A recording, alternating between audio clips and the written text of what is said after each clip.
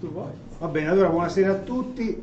Eh, per chi non ci conosce, lui è Marco, io sono Leonardo e, e viceversa, verrebbe da dire. ma- Viceversa, No, è, è vera la prima.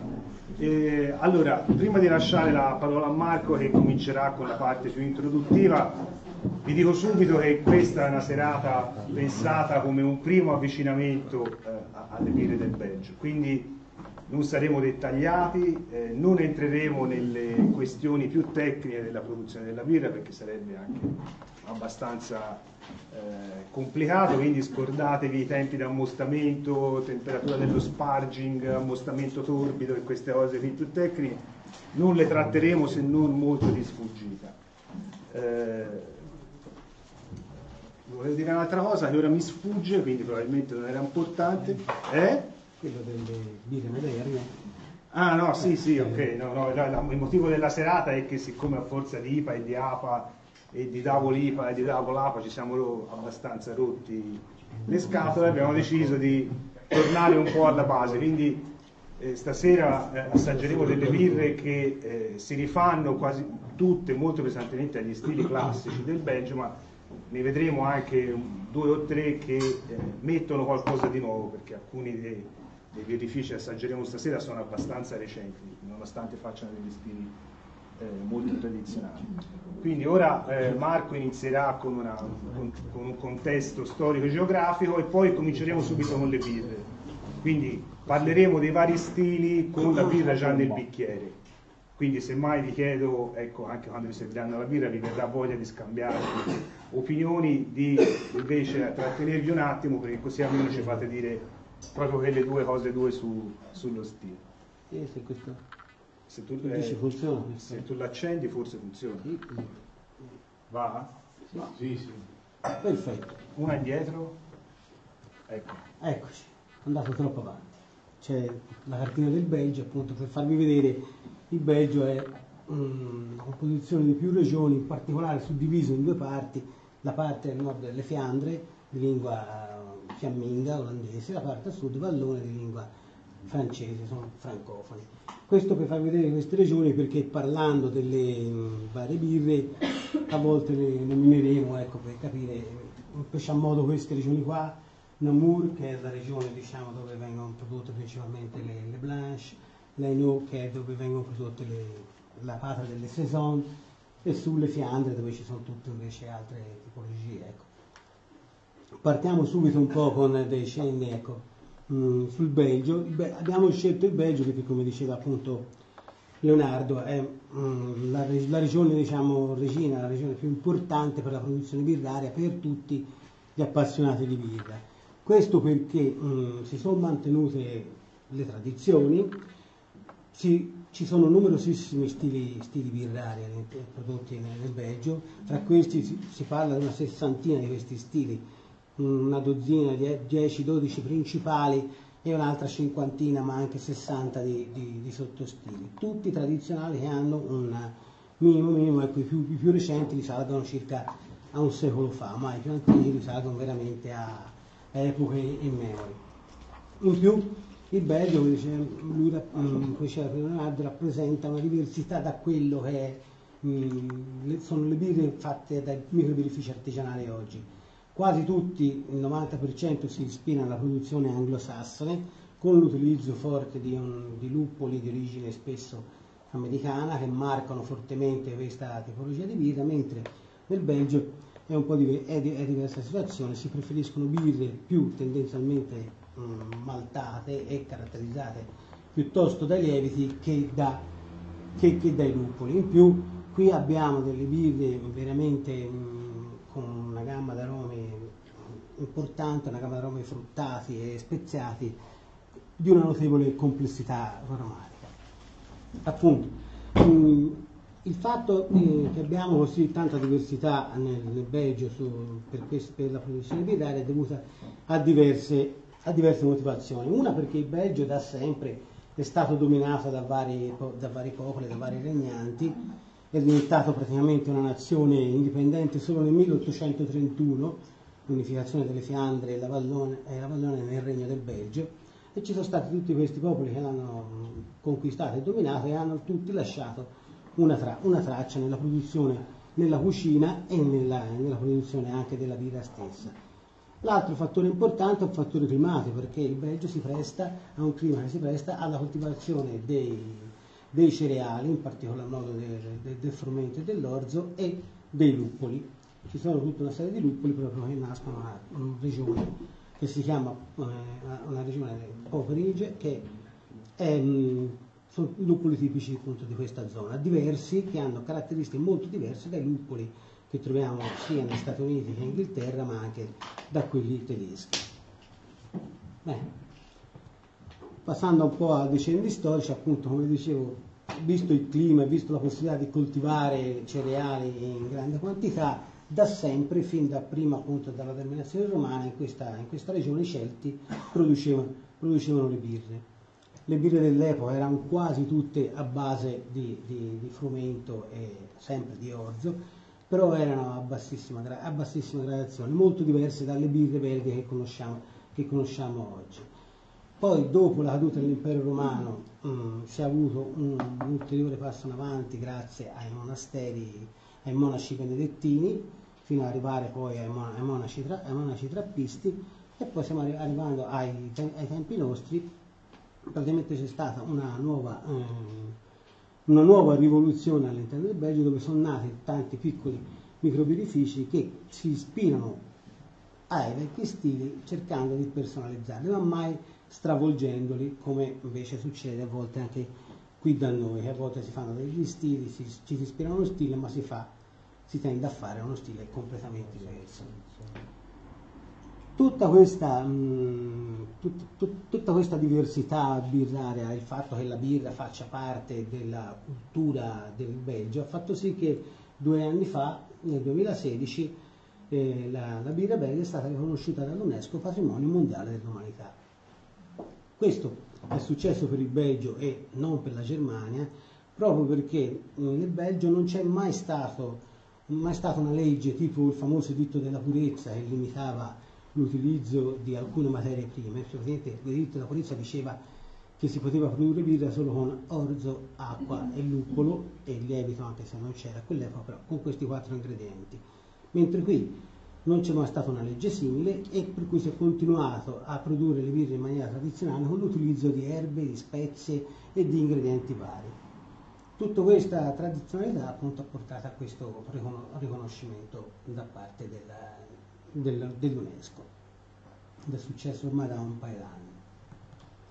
Se proprio vogliamo appunto mm, schematizzare, schematizzare appunto la, la dicitura delle birre belghe in, in, alcune, in una grande tipologia, come per esempio noi si pensa sempre alle birre tedesche, sono birre generalmente a bassa fermentazione chiara, non tutte, ma la maggior parte di queste. In Belgio c'è un'enorme diversità, però sono caratterizzate quasi tutte da mh, mm, alcune caratteristiche. Le principali sono la fermentazione, la, fer- la rifermentazione in bottiglia, che viene fatta aggiungendo o lievito o zucchero o tutte e due nel momento dell'imbottigliamento e principalmente la caratterizzazione data dai lieviti autoctoni del Belgio, che possono essere selvaggi oppure tipici di, tipici di quella regione. Generalmente sono lieviti ad alta fermentazione che lavorano a temperature abbastanza alte, arrivano a 25, a 25 gradi, ma anche a 32 gradi nel caso dei, dei lieviti de, della saison e danno luogo a birre che hanno una gamma di aromi fruttati e speziati e magari altre tipologie di birra non hanno. Oltre a queste due caratteristiche si può anche aggiungere altre caratteristiche tipo appunto come vi dicevo prima l'aggiunta di, di zucchero e anche di caramello spesso in fase di fermentazione. Il fatto che qui in Belgio, come vi ho accennato anche, che il malto il lievito um, prevalgono, sul gusto, prevalgono quasi sempre sul gusto luppolato e poi principalmente anche l'utilizzo che troviamo del grano sia nelle, nelle blanche che ne, nell'ambic. Grano che veniva utilizzato um, nei paesi del nord Europa da sempre, ma che questo utilizzo è stato abbastanza spazzato via dalle leggi appunto tedesche ed è rimasto quasi in uso esclusivo eh, nel Belgio, a parte la famosa Weisse.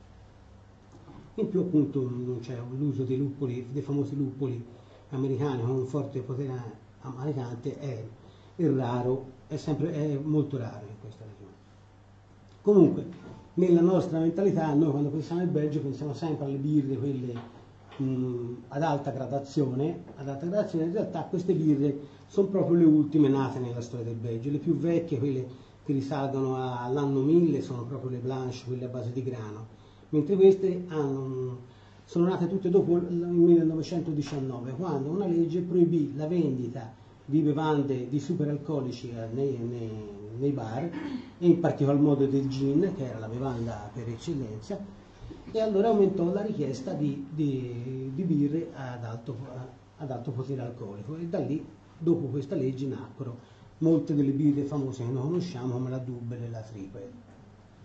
Il 1919 tra l'altro è lo stesso anno del proibizionismo in America, che invece in America spazzò via tutto quello che era la piccola produzione che c'era negli Stati Uniti per eh, portarla alla produzione industriale. Parlando appunto, accenno agli stili, diciamo quelli più importanti, quelli che mm, diciamo come macro stili, più importanti del Belgio si può, possono dividere fra quelli de, a base di grano e di frumento, de, e di, di frumento che possono essere il Liber Blanche o Witbier che si voglia, oppure il Lambic con tutte le sue varianti, vanno dalla cricca al farò alla, alla Ghese e via dicendo. Poi ci sono birre a fermentazione mista, e cioè sia con l'utilizzo di um, lieviti selvaggi che con l'inoculo di, di lieviti, tutte e, due le, tutte e due le fasi, che sono le le red, le red beer, quelle rosse, e le Wood Brewing, le birre brune, le birre, tutte e due delle Fiandre. Ci sono poi le saison, che sono quelle caratterizzate da un particolare tipo di lievito, che è questo lievito che mh, simile ai lieviti de, utilizzati per la produzione del vino, è un lievito che lavora fino a 32-33 gradi di, di, temperatura, che è una temperatura molto alta per un lievito, perché generalmente muoiono molto prima i lieviti. Ecco. Poi abbiamo tutte quelle birre di origine monastica, che sono le trappiste di abbazia, e infine le Belgian Ale e Belgian Strong Ale, che sono anche queste le ultime nate, quelle nate generalmente dopo la famosa legge del 1919. Poi ci sono tutta un'altra serie di birre, che sono birre non classificabili in alcuni, in alcuni di questi stili, come ad esempio tutte le birre dei microbirrifici nati negli ultimi anni che si ispirano generalmente alla Belgian Ale, però mettendoci un po' del suo, cercando, di, eh, cercando appunto di personalizzare la produzione della birra. Poi fra le birre speciali abbiamo quelle come la Deus e la Malheur che sono una sorta di, eh, di champagne, praticamente sono prodotti come un, con il metodo classico in sostanza, come, come i, vina, gli spumanti metodo classico. Infine poi um, cito qui li, fra le birre speciali quelle di Natale. Le birre di Natale è un tipo di birra molto particolare, viene prodotta proprio, non prodotta in questa stagione, ma si comincia a bere in questa stagione, che viene prodotta molto prima, spesso l'anno, l'anno precedente. Sono birre caratterizzate da un gusto fortemente maltato, tendenzialmente dolci, hanno una gradazione molto alta, quasi sempre superiore ai 10 gradi e la caratteristica è che sono fortemente speziate. Generalmente le spezie utilizzate sono la cannella, il ginger, l'anice stellato e via dicendo e che si abbinano bene ai dolci natalizi della zona che sono dolci generalmente che poi concordano con questa spezialità. Infine, appunto, per darvi un'ultima infarinatura su quello che è il mondo delle birre del Belgio, ci sono tutte le birre prodotte da questi nuovi birrifici, che sono tantissimi e fanno delle birre eccezionali, almeno dal mio punto di vista, interessantissime. Fra questi ci sono alcuni di questi, con la Brasserie della Seine, che è a Bruxelles, che produce delle birre generalmente un po' diverse da quello il Belgio, però utilizzando luppoli, malti, tutta produzione belga, riesce a ottenere delle birre leggermente luppolate con una gradazione bassa, le più famose sono la Taras Bulba che ha 4 gradi e mezzo e la Zinnebier che ha 6 gradi eh, circa.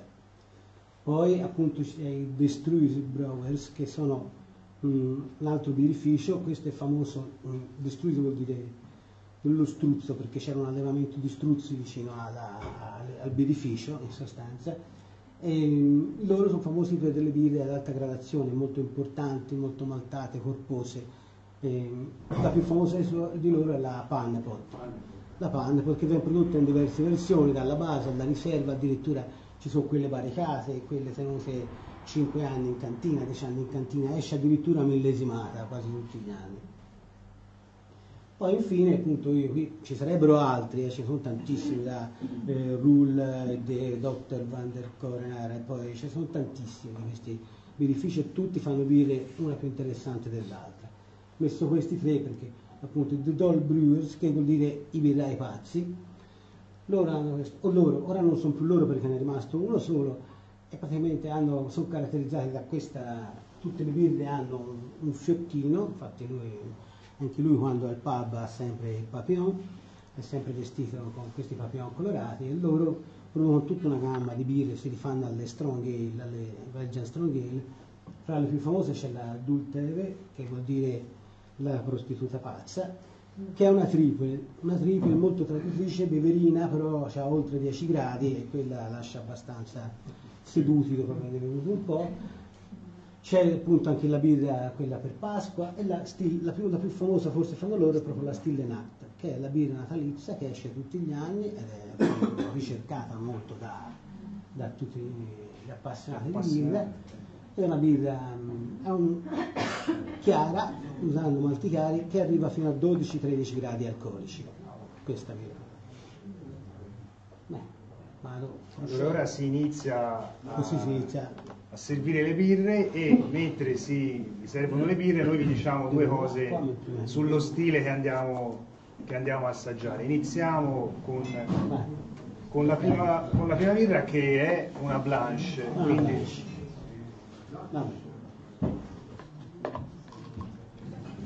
Allora, iniziamo appunto dalla blanche perché la blanche è uno degli stili più antichi, più vecchi più del, di fra quelli prodotti in Belgio. Na, mh, mm, praticamente si fa risalire fino a, all'anno, all'anno, dall'anno 1000 e la caratteristica di questa birra è che è prodotta con il 50%, generalmente la ricetta prevede il 50% di malto d'orzo, il 45% di frumento non maltato e una piccola parte di avena. In più è aromatizzata con eh, buccia d'arancia essiccata e coriandolo, che si sentono fortemente nella, nella, nell'aroma della birra. Era una delle birre più famose del Belgio, è prodotta in, in questo paese, in questa cittadina che si chiama Oegarden, e anche la birra, si trova ora la birra, quella marchiata Oegarden, però è di proprietà di un marchio industriale. Questa, mh, questa, questa birra era famosissima, tant'è vero che nel, nel 700 c'erano circa 35 birrifici in questa cittadina, una cittadina piccolissima che aveva 35 birrifici e produceva questa birra qua. Poi con l'avvento di tutte le nuove tipologie è andata a decadere fino a quando nel 1955 ha chiuso l'ultimo birrificio, si chiamava Tomsin, Tomsin, pare, sì, sì, sì. Eh, Tomsin, beneficio è chiuso nel 1955 fino a quando, 11 anni dopo, uno dei, dei suoi dipendenti, questo signore qua, ora questo non funziona, che vedete lì con cesto di vimini, è quello lì con cesto di vimini, si chiama Pierre Silis. Abbiamo Sì, Pierre Silis che, appunto, grazie Finetti. Pierre Silis lui ha voluto, ha riacquistato il beneficio per ricominciare a produrre questa birra, che stava morendo perché e invece è uno degli stili più, più antichi eh, del Belgio. Lì in quella foto in particolare un cesto di vimini che serviva per separare le trebbie dal mosto. Dal, per separare, veniva fatto manualmente. Per filtrare. Per filtrare. Uno teneva il cesto di vimini, gli altri con dei mestoloni passavano tutta la, la miscela la, e la separavano da, dal mosto. Vado avanti. La birra invece che vi stanno servendo è fatta da uno dei birrifici moderni, birrificio de Glasentoren, che vuol dire la torre di vetro, che vuol dire la torre di vetro, che in questa cittadina delle Fiandre orientale, Plumer, è stato fondato da mm, da tre amici, ora qui ce ne sono due, il primo è Jeff Van der Steen, l'altro che, che è una, un'autorità del mondo birrario, lui è un giudice dei concorsi birrari, ha scritto un sacco di libri sulle, sulle birre del Belgio, gli altri sono amici appassionati, hanno creato que, questa società, questa società. Le birre che producono loro si rifanno tutte a stili tradizionalissimi, però loro cercano di personalizzare senza stravolgerle perché anche nel fare tecnologie come questa che stiamo vivendo utilizzano materie prime che sono prodotte, prodotte in Belgio. E la birra che è stata appunto seguita ora è questa, Jan Delitte, che, che, prende il nome da un brigante di questa, di questa regione, prende il nome da un brigante di questa regione e si rifà allo stile che è mh, la, la bière blanche o wheat beer che si, voglia in, in, fiammingo, sono le birre appunto di, mh, di grano. Mm, la caratteristica di questa birra è che vengono utilizzati mentre nella ricetta tradizionale sarebbero malto d'orzo, frumento non maltato e avena, qui c'è anche l'aggiunta del grano, del grano saraceno. E poi dopo c'è tutta l'aromatizzazione classica, quella con il coriandolo e con, e con la buccia d'arancia. Le bucce d'arancia hanno cominciato a inserirle nel 600 quando la compagnia delle Indie orientali dall'isola di Curaçao portava dell'arancia amare e allora fu pensato di introdurre anche questo ingrediente all'interno, all'interno di questa birra si fa.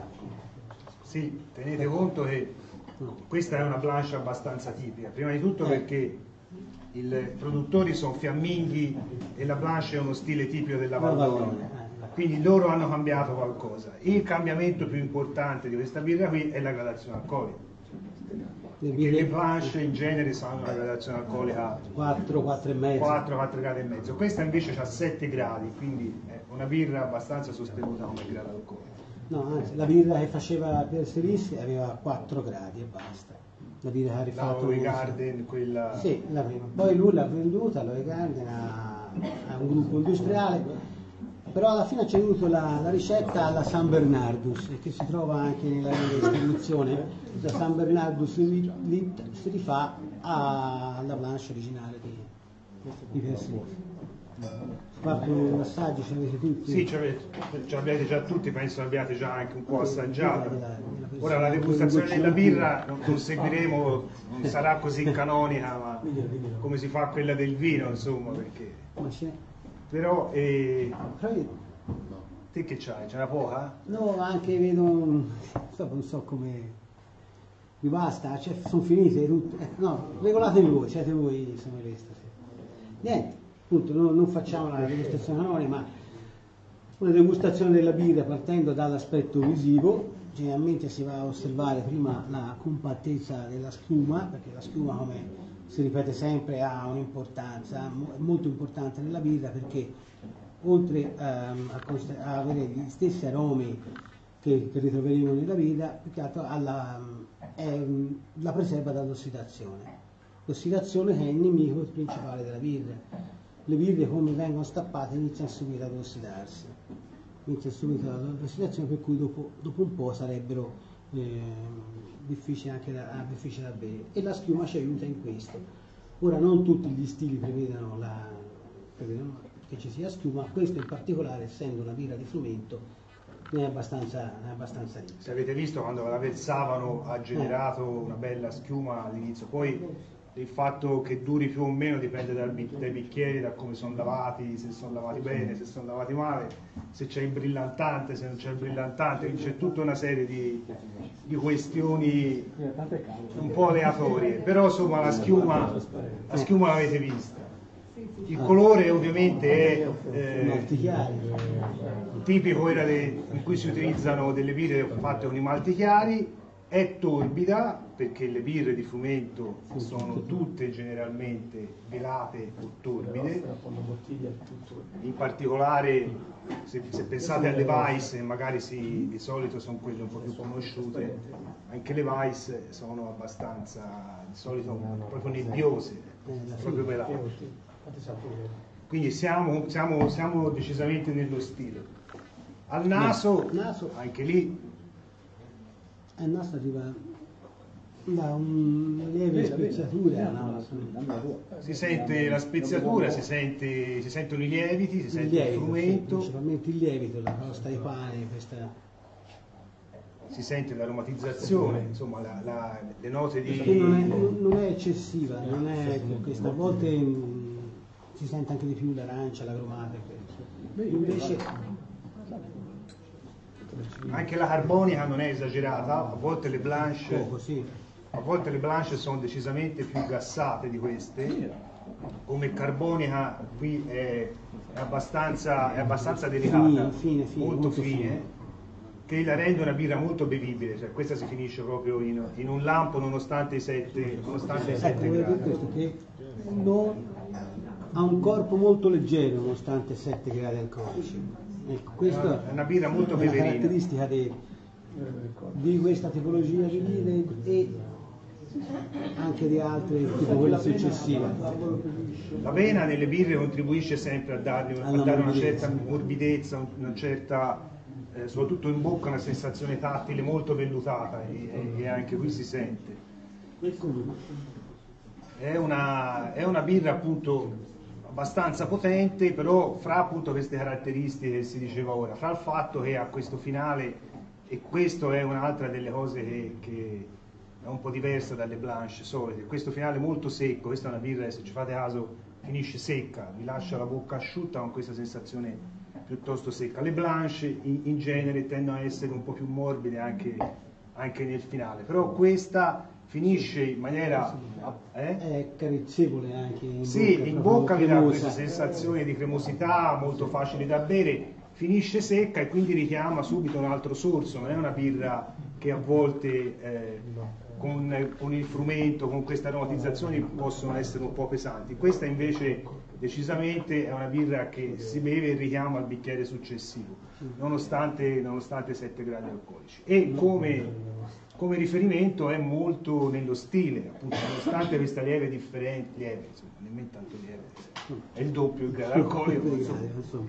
Però il richiamo mo- è molto tipico, cioè le, le blanche, eh, ecco, se prendete questa come riferimento ce l'avete perché più o meno le caratteristiche sono Sto queste. guardando perché ho detto spero per fortuna non la chiamino Imperial Blanche perché ora appunto No, la chiamano double, double blanche, Eh, che è una cosa che, che fa, che mi fa male. l'Imperial, l'Imperial che mi tutto, fa ecco. male dentro, infatti non ce l'ho scritto stile double blanche perché è una cosa odiosa, è una blanche di- con grado alcolico un po' più alto.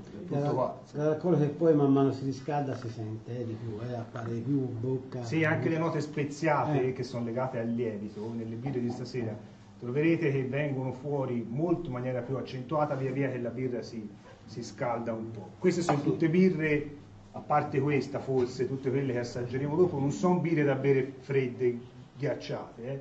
si bevono dagli ot- dai 10 gradi in su, diciamo. Fino anche, anche quelle Fino a, sì, fino a temperature di cantina di 13-14 gradi. Questa si può bere anche un po' più fresca, però ecco, è piacevole anche quando, quando si alza, quando si alza la temperatura, insomma, è una birra importante. Sì, sì, procediamo. Potete andare anche con la seconda. Sì. La seconda è un altro degli stili ormai millenari, centenari, millenari della, Co- co- come riferimento siamo ancora in Vallonia, eh, siamo nel Belgio francese per capirsi. Questa è la, la, la Saison. La Saison è la birra che veniva prodotta un po' tipo come certe birre tedesche, le Märzen, viene prodotta a primavera per essere bevuta d'estate. Era la birra de- dei lavoratori stagionali, che veniva bevuta dai lavoratori stagionali nelle fattorie, i famosi saison- saisonnieri.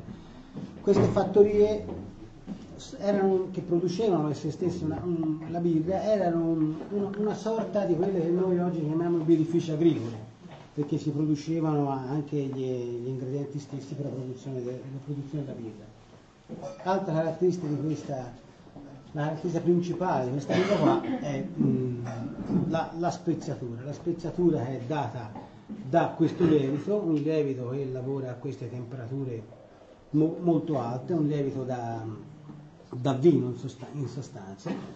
Mm, e appunto mh, era appunto come originariamente era fatta anche questa come quasi tutte le birre del Belgio utilizzando, eh, utilizzando i lieviti selvaggi mentre ora appunto vengono, vengono caratteristica di questa birra appunto oltre a questa spezzatura è fatta anche questa come quella precedente. Ora questa assaggeremo la sentiremo ma generalmente sono birre tendenzialmente secche. Anche queste di colore chiaro, leggermente ambrato, perché anche qui i malti vengono utilizzati, sono i pils, al massimo vengono utilizzati dei malti caramel, niente, ma mai, ma, ma malti scuri. E la luppolatura non è, non è, mai, non è mai eccessiva, come quella avete, di prima avete sentito, il luppolo non, non, si, sentiva, non si sentiva praticamente quasi, quasi per niente. E sono generalmente appunto rifermentate in bottiglia, anche queste, e nella ricetta delle saison venivano utilizzati oltre agli ingredienti base anche qui delle erbe e delle spezie che però generalmente erano una sorta di ricetta, di ricetta segreta. Qui fra queste abbiamo messo qui l'immagine, c'è la, mh, la brasseria Vapeur che è famosa per, perché ha tutto un impianto che funziona a vapore e tutt'oggi produce in questa maniera, con questo impianto a vapore, tutti gli ultimi sabati del, tutti gli ultimi sabati del mese fanno la cotta pubblica per cui tutti possono andare ad assistere. Si mangia e si beve, si quindi se, se capitate in, in zona esatto. merita un, un, un, una gita. Eh, invece quella che vedremo stasera è prodotta da un altro birrificio moderno che ha una storia simile a quello di prima, sono praticamente degli appassionati di birra, degli homebrewer che poi piano piano si sono messi in proprio e hanno cominciato a produrre birra. Questo beneficio si chiama Deranche, eh, fa riferimento appunto alla, al nome dei filari di luppolo perché loro sono in una zona, si chiama appunto nel Poperinge, dove vengono prodotti quasi tutti i luppoli del Belgio. Quasi tutti i luppoli del Belgio vengono prodotti qui successo? No, si è abbuiato un attimo e poi vai, vai. Ah, ecco. Tuffa, ma, tuffa massa, come diceva. Sta lontano. Eh, a fare... Comunque appunto loro utilizzano loro, la caratteristica delle loro vite è quella di essere più luppolate cioè, di, di quelle della media, della media belga, ma i luppoli utilizzati anche qui sono luppoli autoctoni, luppoli prodotti in questa zona, utilizzati spesso anche nel famoso dry hopping, cioè a freddo dopo è stata fatta da, la, dopo a fine fermentazione. Questa è la birra che è stata servita, qui si scende di grado alcolico perché le saison sono birre da bere d'estate e dovevano avere un grado alcolico piuttosto, basso, ma anche se raggiungevano spesso 7-8 gradi lo stesso, perché per i belgi il grado alcolico basso, cioè un, insomma, non è proprio bassissimo, ecco, diciamo questo. La caratteristica appunto anche di questa è di utilizzare tutti i luppoli, tutti, tutti i luppoli, scusate, tutti, tutti malti chiari, come vedete anche dal colore sono malti chiari, e ci può essere pils oppure non so se ci sarà anche qualcosa di, di, di, di, di ambrato, di malti, ecco, malti allora, su, malti sulle ricette stasera troverete per qualche birra più informazioni, per qualcuna meno i belgi hanno la fissa delle ricette segrete, cioè non se le raccontano nemmeno fra di sé, fra birrai, nessuno dice nulla a nessuno. Quindi quello che sappiamo che è certo ve l'abbiamo scritto. Qui può darsi che ci siano dei malti leggermente ambrati, leggermente caramellati, perché dal colore potrebbe sembrare così. Però quello che c'è scritto qui è quello che ufficialmente sappiamo. Sì, anche, le ipotesi poi ve le diciamo via via. Anche i luppoli, come vedete lì, che sono utilizzati Challenger Bios Gold sono di origine inglese ma coltivati in Belgio, l'Allertau il Mittelflu sono invece di origine tedesca ma coltivati sempre in quella zona. Lo Stylian Golding è un lupolo sloveno e va tra l'altro molto di moda, ma anche questo lo coltivano loro lì in questa, in questa anche qui. Qui avete visto con la schiuma pannosa, questa anche più di quella di prima, di più. Eh? bella persistente poi una caratteristica di questo lievito è di dare una notevole gassatura, di, di, di, di produrre eh, tanta carbonica per cui la cassatura io non l'ho ancora assaggiata, dovrebbe essere più presente che nell'altro. a quella di prima sì. Perché dovrebbe ripulire, dissetare proprio appunto una birra dissetante nel, nel concetto belga di, di, di birra. Qui è un po' più scura, tendente al dorato, questa, mm, il colore di questa birra appunto che fa pensare appunto ai smalti si passi oltre ai Pils appunto anche a qualcosa di lì c'è scritto Pils e Ale, ma potrebbe far pensare anche a qualche caramel qualcosa del genere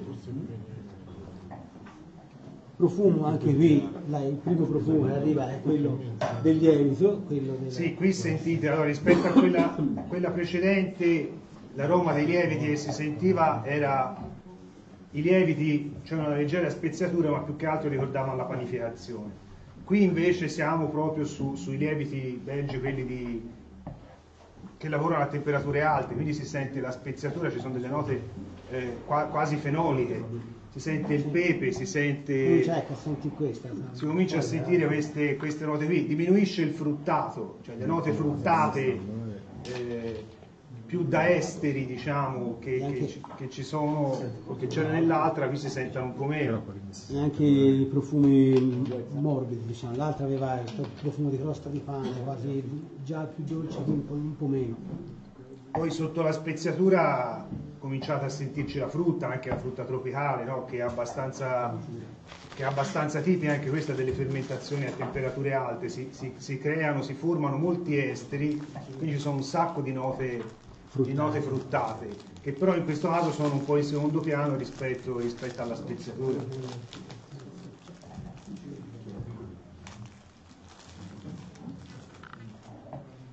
Ecco, in bocca questa sente più la, la carbone, l'altra aveva più questa cremosità avvolgente, questa meno, lascia però la bocca forse più pulita. Qui c'è anche il luppolo Più che, pulita. che- che secca un po' di più. Il luppolo sente un po' l'erbaceo sul fondo della- sulla parte finale della lingua, leggermente, ma non più di, ta- non più di tanto. L'attacco delle note maltate, quelle dolci, subito appena all'ingresso di bocca, come, come quasi sempre, perché appunto le parti dolci sono all'inizio della bocca e invece il- l'amaro è il- sul finale, è quello che l'amaro è il gusto che percepiamo proprio mm, sulla fine della degustazione. Sì, sul finale di bocca vi resta, cioè eh, rimane per un attimo le note fruttate, le note un po' più dolci se vogliamo, però un attimo che passa quelle resta in bocca e resta per tanto tempo proprio l'amaro della luppolatura. Qui si sente che la luppolatura è proprio decisa, cioè c'ha un IBU di 45, quindi vuol dire che siamo altini come, Loro sono, come stati, amaro. loro sono stati fra i primi Fra i primi a fare a, questa... a- a fare più luppolatura de- degli altri, siamo nel Belgio, che in Belgio il luppolo era utilizzato quasi esclusivamente come conservante, mentre da loro sono proprio stabiliti anche in quella zona per poter utilizzare luppoli che venivano prodotti in quella zona. Se, se nell'altra birra quello che faceva la differenza con lo stile era diciamo, la gradazione alcolica, qui invece la cosa tipica dello stile è proprio questa luppolatura. eh. Nelle saison, diciamo, tra virgolette, tradizionali, tradizionali, non c'è questa luppolatura così, così generosa. Sente molto meno. Si sente decisamente meno. Qui invece è proprio una, una caratteristica della birra. Questa è considerata abbastanza universalmente una delle saison migliori in questo momento in Belgio insieme a quelle più classiche della brasseria Vaper o di Dupont, eccetera Eh, che sono poi i produttori, sono poi i grandi, i grandi produttori. E invece a proposito di Dupont, invece che della saison tradizionale, Andate pure con la, con la- con la terza birra intanto. Abbiamo una birra anche di loro, la Dupont, che la Dupont è una, una birreria che ha qualche secolo di storia sulle spalle, sempre esistita fin dall'inizio dell'Ottocento in, in in sempre in questa regione. Nel 1920 la famiglia Dupont decise di acquistare, di acquistare questa- questo edificio e tutt'oggi i discendenti eh, del signor Dupont continuano a, a produrre produrre vino. Loro sono stati diventati famosi per, appunto per le saison e per le saison al miele, ma anche appunto hanno, hanno mantenuto questi impianti vecchi e sono anche famosi per questa birra qui che andiamo a- ad assaggiare stasera, che è la Bombay, che è una birra creata appositamente nel 1970 come birra di Natale, nonostante sia fatta anche questa con luppoli, sì, con luppoli, con lieviti saison e con, risalendo alla tradizione delle saison, questa birra è nata per fare un regalo natalizio, infatti c'era la scatola per i migliori clienti c'era scritto avec le bon vœux della brasserie du Pan. Con i migliori auguri della migliori brasseria della birreria. Ebbe però un enorme successo che dal 1970 non hanno mai smesso di, pro- non hanno mai smesso di produrla. Caratteristica di questa, di questa, di questa birra qui, che ora ci stanno per versare, è la sua struttura, perché qui si sale di gradazione e non, po- e non poco. Anche qui, tanto lo vedrete, i malti utilizzati sono sempre quelli chiari, Pils, Pale Ale e via dicendo. Il lievito è sempre il lievito, il lievito saison autoctono di, di que- di questa regione, mentre qui, qui c'è una forte lupolatura. La ricetta può essere segreta, si pensa ci sia anche delle spezie qualche aroma, perché come ora andrete a sentire, ecco, la- l'aroma è molto particolare. Ma la caratteristica di questa birra qui è la gradazione alcolica, la potenza e la struttura, perché qui si arriva a 9 gradi e mezzo. 9 gradi e mezzo per una birra per, per una birra di questo tipo comincia a essere una, una gradazione, una gradazione importante.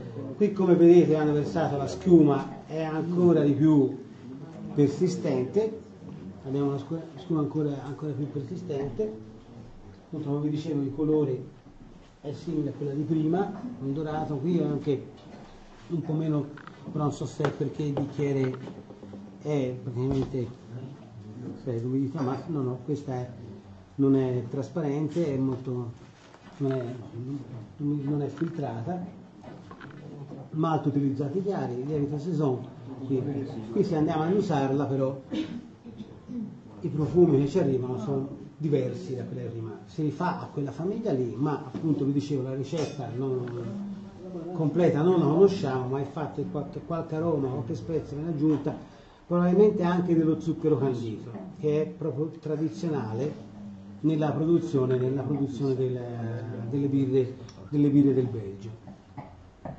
Infatti arriva subito profumi dolci, immediati, praticamente di malto, il malto è molto presente, il luppolo è nascosto nel nel non sente profumo del naso, quasi per nulla.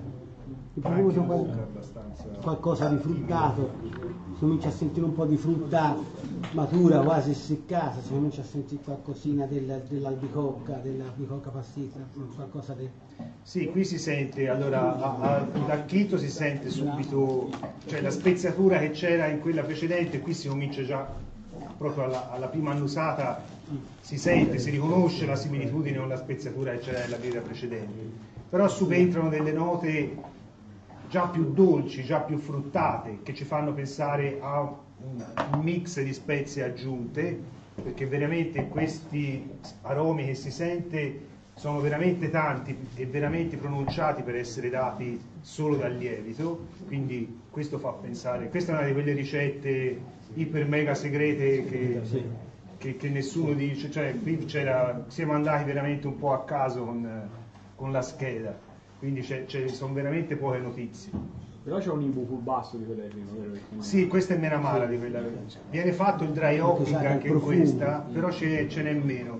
Si sente l'amara, anche questa finisce amara, ma è decisamente meno amara di quella. Prima No, in fondo c'era quasi questo miele di castagna amaro, Sì, rimaneva sì, un po'. la sembrava quasi mielosa ma, ma molto amara. Ma il Deranche tipo, loro vogliono proprio luppolare, loro sono invece, siamo messi lì perché noi si vuole luppolare le birre, utilizziamo i lieviti tradizionali del Belgio, utilizziamo malti tradizionali, ma i luppoli lo stesso, anche qui i prodotti in Belgio.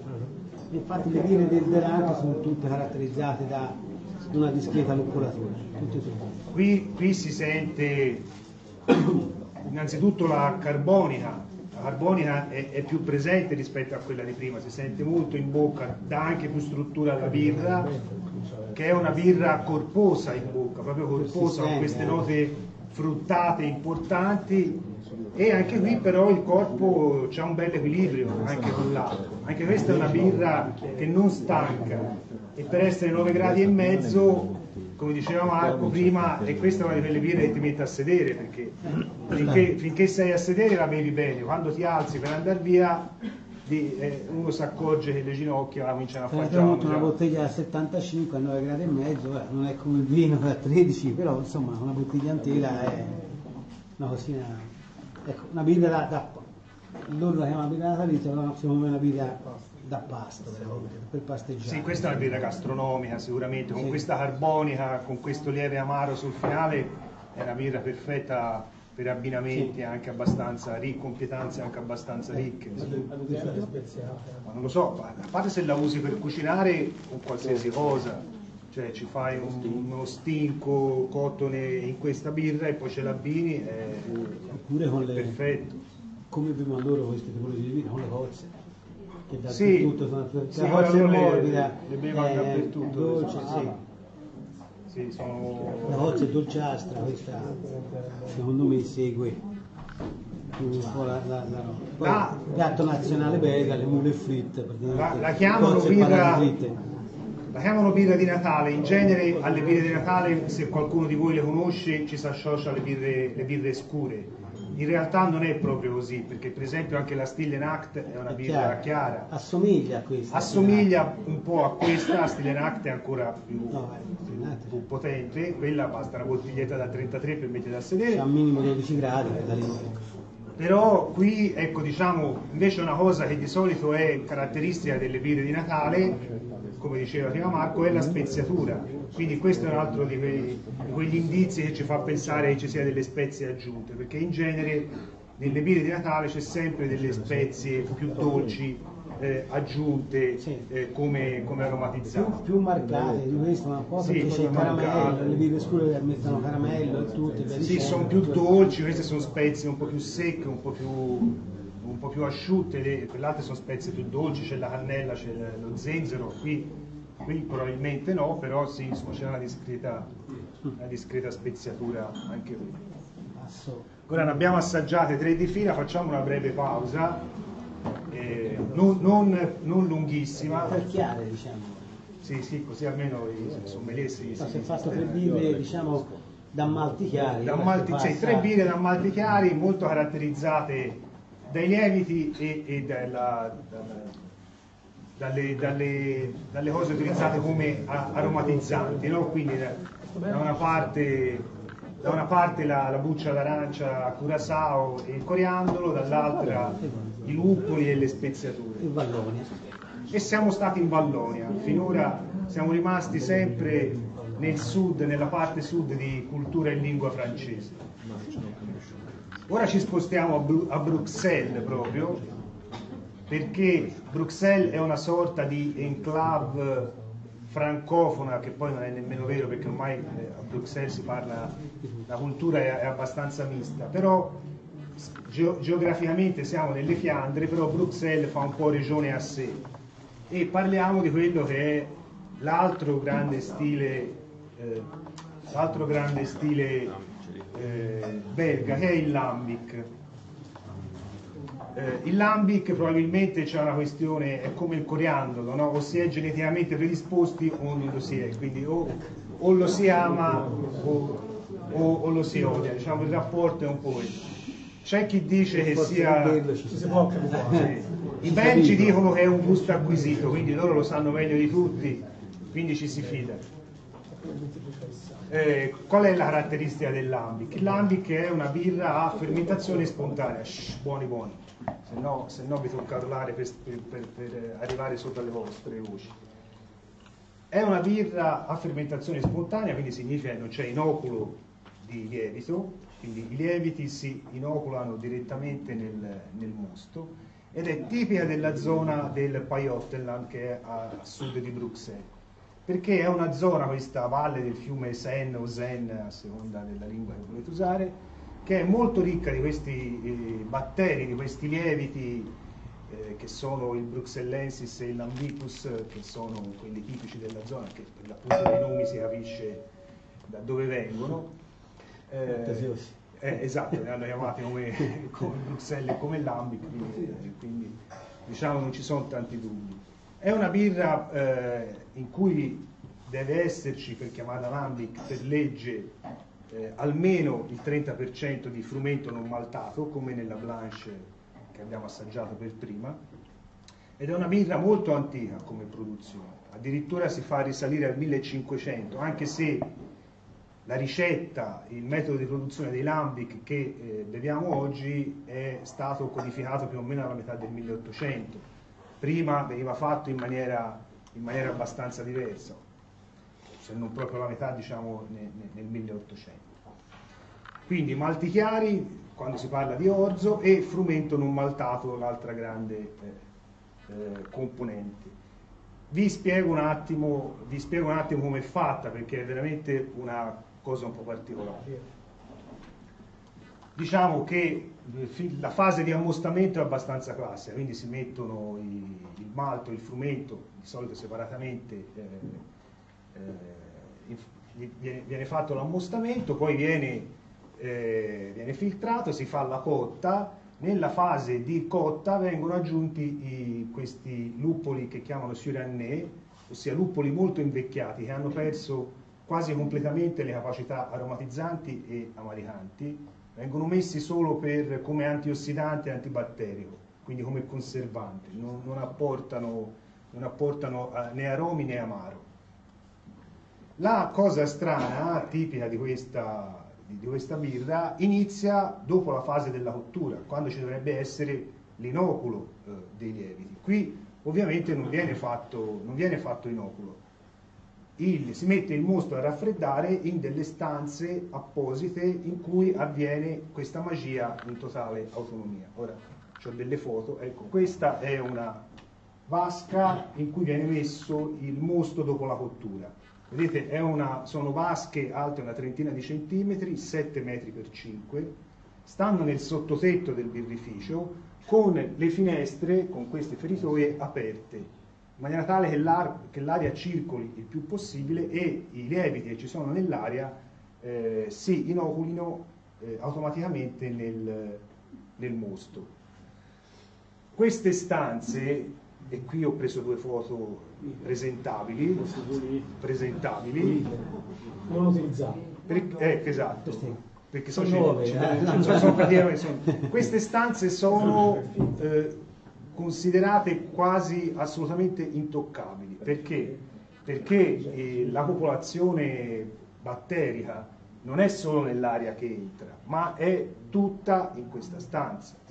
Quindi le stanze non si toccano. Se c'è una ragnatela, si lascia la ragnatela, anzi fa anche comodo perché siccome questo è dolce, i ragni fanno fuori anche i moschini che arrivano sul, sul mostro. Se c'è una bicicletta lì dal 1800, si lascia lì. Ah, si lascia lì.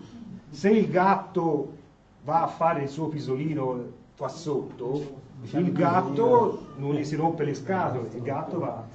Ossia, non si vuole disturbare in nessun modo l'eventuale popolazione flora batterica che c'è in questa stanza. Fra l'altro i produttori di lambic hanno avuto grosse, delle grosse diatribe con la Commissione europea per quanto riguarda le questioni legate all'igiene, perché veramente se uno entrasse in questi benefici qui, eh, cioè butta un fiammifero e dà fuoco a tutto, perché ce n'è qualcuno è veramente, veramente eh, impressionante come livello, tra virgolette, igienico, so, fanno, fanno, abbastanza, fanno abbastanza specie se uno non sa quello che ci viene fuori. Però ecco, diciamo che qui in questa fase qui, che è abbastanza lunga, diciamo dura un giorno e una notte, avviene l'inoculo dei batteri, eh, dei, dei, lieviti selvaggi della, della stanza o, o de, dell'area che passano attraverso queste, queste feritoie. Dopo una notte, in genere il giorno dopo, eh, questo eh, mosto che ormai è già inoculato viene omogenizzato in maniera tale che le popolazioni batteriche si uniformino su, tutto, su tutta la massa e poi viene messo in botti, in botti di legno e subito inizia la fase di fermentazione. Le botti possono essere più o meno grandi, sono sempre botti molto usate, difficilmente si usa botti fresche, cioè sono botti ovviamente in cui prima c'è già stato qualcosa, eh? porto, sherry, madera, vino, eh, qualsiasi cosa, qualsiasi cosa che venga a mente, però sono molto usate non si usano botti fresche che, che, che diano delle, degli apporti eh, marcati, devono essere quasi neutre. Eh, qui vedete la fase proprio in cui viene versato il, il mosto ancora caldo nel, nella, nella, vasca di fermentazione. Vedete tutte queste muffine belline che c'è sulla, Eh. sulla, sulla trave. ecco. Quelle si lasciano, nessuno si permette di andare lì con la spugnetta e levarle. La fase di fermentazione che avviene eh, queste botti è abbastanza complessa. Ci sono, diciamo, eh, almeno quattro fasi. Almeno quattro fasi. La prima è abbastanza inquietante, è quella in cui ci sono gli enterobatteri, fra cui anche l'Escherichia coli che agisce, eh, agisce sul mosto.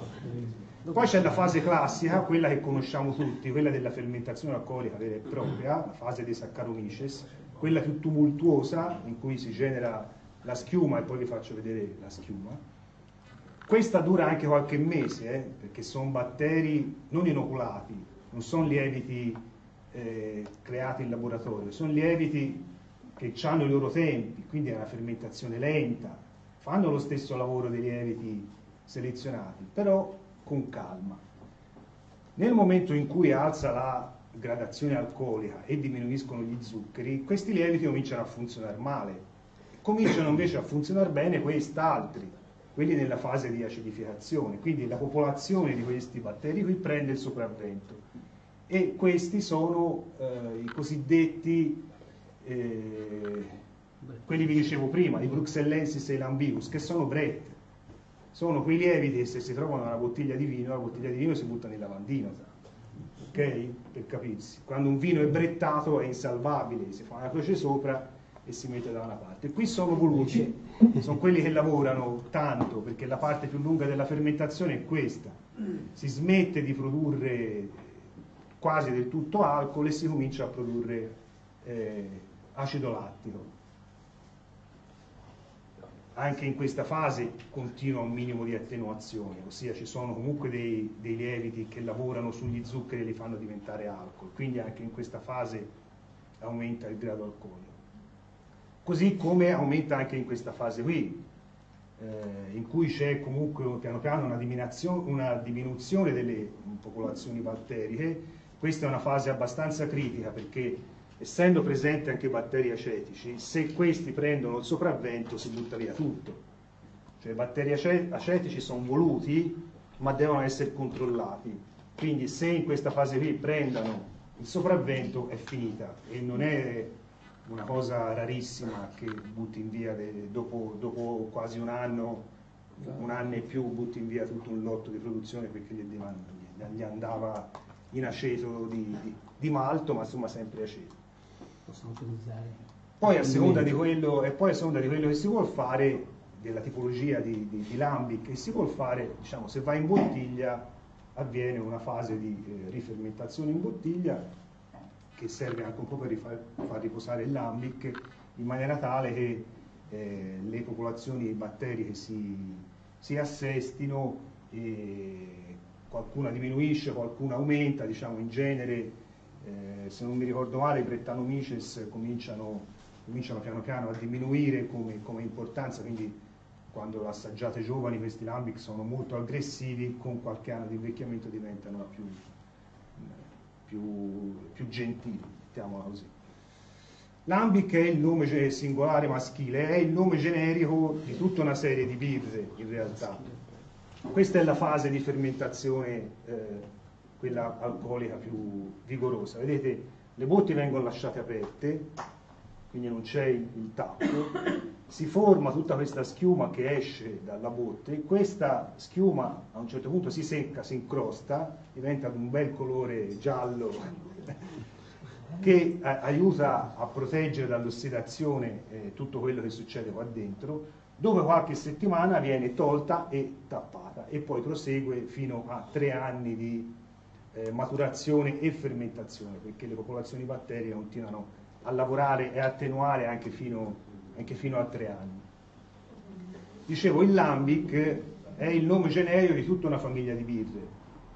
Come lambic lambic non si trova quasi niente. Al limite se trovate qualcosa trovate un lambic giovane di un anno, eh, servito sfuso a caduta in qualche piccolo caffè di Bruxelles, è difficile trovare, a parte Cantillon che imbottiglia questo, questa Broxella, che è un lambic invecchiato tre anni, praticamente piatto, che dopo tre anni non c'è più gas, eh. il gas si è formato all'inizio nella fase di fermentazione quella alcolica, ma poi piano piano se n'è andato, quindi è assolutamente piatto. Eh, la birra più tradizionale, più classica di, di, di Bruxelles è il Farò, che è, una, che è un, un, lambic fatto non con il mosto fiore, con il secondo e il terzo passaggio di acqua sul, sul mosto, quindi il mosto quello meno ricco di zucchero. Eh, fa la stessa fermentazione sempre con i lieviti selvaggi, però si serve giovane e in genere viene addolcito, ci si mette o del caramello oppure dei, dei, dei succhi di frutta, insomma è una bevanda, eh, era una bevanda molto molto diffusa, gradazione alcolica molto bassa, era una delle bevande, delle birre più diffuse eh, a Bruxelles in particolare e per questa gli fecero le barricate in strada. Nel 1842 venne aumentato il prezzo del farò di un centesimo e gli fecero le barricate il giorno dopo in strada finché non riabbassarono il prezzo del farò e l'altra volta che in Belgio aveva fatto le barricate era per il pane, quindi insomma, si muoveva solo per le cose importanti, tra cui appunto eh, giustamente, giustamente, il prezzo. Questo si trova, questo qui, il farò di Lindemans, che è un farò molto pettinato, diciamo, molto bevibile, per capirsi, si trova nella grande distribuzione, quindi se volete eh, assaggiarlo, ecco, questo lo trovate, lo trovate molto facilmente. Lo stile serio, quello che, che, che, che è proprio abbastanza tipico del, dell'ambic nella, forma, nella, sua forma forse più conosciuta, è quello della Ghese. Si passa al femminile. La Ghese è una, è una birra che è un blend di lambic giovani e vecchi, in quelle proporzioni lì, un terzo giovani, due terzi vecchi. Perché questo assemblaggio? Perché nei lambic giovani ci sono ancora zuccheri residui quindi una volta messi in bottiglia fa una rifermentazione senza bisogno di aggiunta di lieviti o zuccheri e parte questa rifermentazione. E avviene un po' quello che avviene nel, nel metodo classico, ossia la rifermentazione in bottiglia, qui non viene fatta sboccatura ovviamente, però aumenta la carbonica, le bollicine sono più fini, più eleganti, sono birre tendenzialmente che hanno una componente aromatica abbastanza impegnativa. Qui ci sono quelli che anche, eh, ci si riferisce quando si parla di lambic agli off flavor, ossia quei sapori che genericamente uno fa fatica a associare a un qualcosa di, di buono, che possono essere, eh, che ne so, stracci bagnati, sì. eh, note animali, carte da gioco, quelle, da, quelle proprio da circolo. da circolo molto molto usate, con le mani tabaccose di sigaro toscano eh, tanni che so, poi dicevi? Sangue, sangue esatto, le note animali, ma quelle ferrose, ematiche, importanti, perché nonostante un sistema di lavorazione, di affinamento eh, abbastanza importante, la regola popolare è che la ghese deve puzzare. Ok, la ghese doit più, credo si dica, spero si così. Alcuni dei produttori più famosi, questo non lo sanno in tanti, perlomeno chi, chi beve queste, questi, questi, queste birre ricche sono sempre pochi di solito, alcuni dei produttori più importanti non si fanno la birra in casa, comprano i, i lambic o i mosti da altri birrifici e li assemblano. L'arte dell'assemblare lambic diversi è considerata eh, molto importante per fare per fare un'ottima, un'ottima gaze. Poi ci sono le gaze, quelle più bevibili, quelle che hanno delle note diciamo anche un po' più fruttate, più facili da bere, e ci sono delle gaze che, che puntano molto sulle note acide e lattiche, come Dry Fontaine, Tre Fontane, che è una gaze bella, bella tosta. Parecchio acida. Parecchio acida, parecchio citrica quasi, con, queste, no, con questi off flavor molto molto presenti. Noi stasera, e intanto potete anche iniziare a servirlo, partiamo morbidi, partiamo morbidi. Abbiamo, abbiamo scelto un produttore che non calca molto la mano, e comunque partiamo con una tipologia che già di per sé parte un po' più eh, moderata, ossia una di quelle birre, una di quei lambic che sono eh, addizionati eh, di frutta, anche se in maniera tutta particolare. Perché? Perché nelle cric oppure nelle framboise, che, che invece c'è il lampone ma sono fatte nello stesso modo, si prende un lambic invecchiato, quindi un lambic eh, vecchio, quindi piatto, con poi zuccheri residui, e dentro a questo lambic ci si mettono a macerare una discreta quantità di ciliegie eh, mature in buona proporzione, almeno, almeno 300 grammi per litro di lambic. E le ciliegie ci si mettono intere, schiacciate ma intere, quindi non si tolgono, non si levano i noccioli. Okay?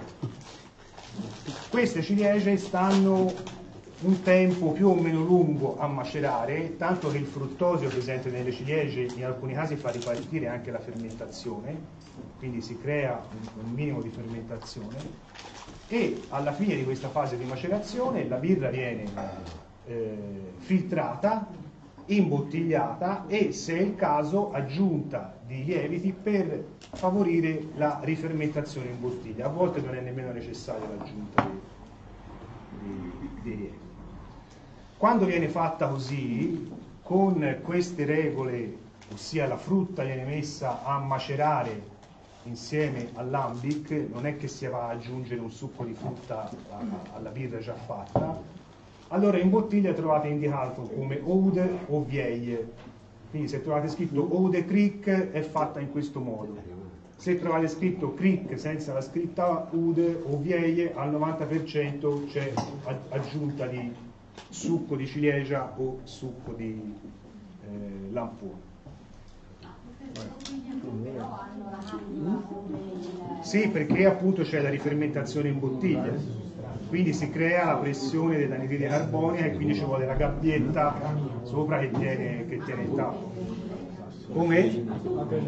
No, le prime avevano il tappo a corona, le prime, tre che abbiamo assaggiato, le prime due che abbiamo assaggiato avevano il tappo a corona. La terza, la DuPont, aveva la gabbietta questa c'ha la gabbietta e poi non ne so più. La prossima c'ha la gabbietta. No poi mi sa che ce l'hanno tutte la gabbietta.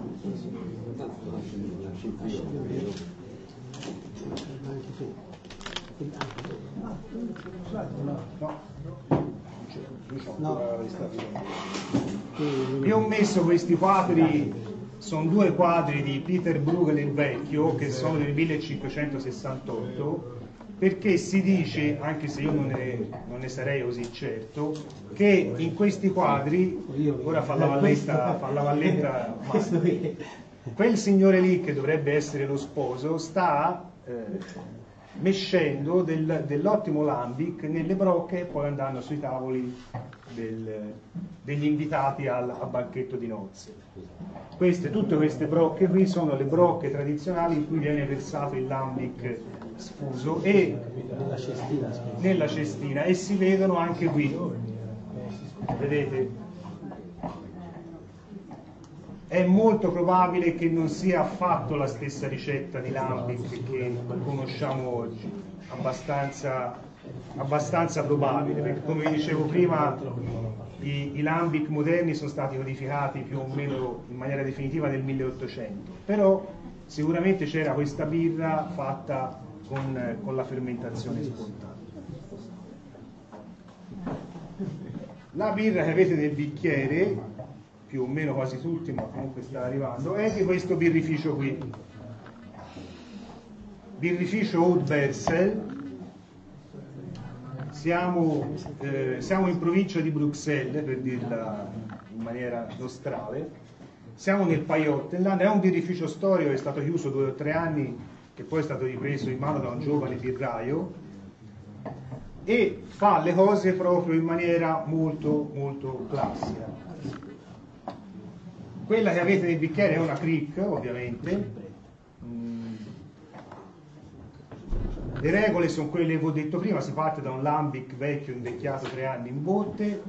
Qui la differenza è che si aggiunge ancora più ciliegie Si di, di solito la regola è 300 grammi litro, qui ce ne sono ben 400 grammi litro.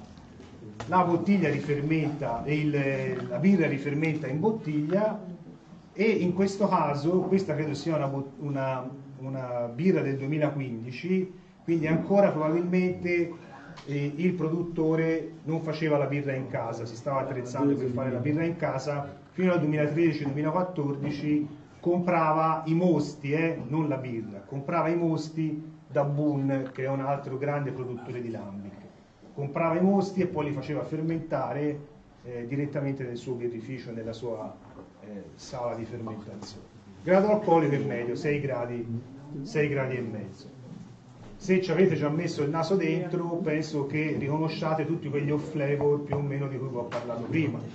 Quindi la plastica, quella molto consumata delle carte da gioco, ci si sente proprio, ma anche lo straccio lasciato eh, bagnato per troppo tempo, ci si, delle note formaggiose, delle note lattiche importanti, anche queste molto tipiche della, della tipologia. Se fate lo sforzo di superare queste note che caratterizzano molto la birra, sotto cominciate a sentire le note appunto della, si comincia a riconoscere la ciliegia e soprattutto la nota ammandorlata che è tipica di quando si mette veramente tante tante ciliegie e specialmente con i, con i nocci. Proviamo a assaggiarla per vedere se in bocca si comporta in maniera un po' più elegante.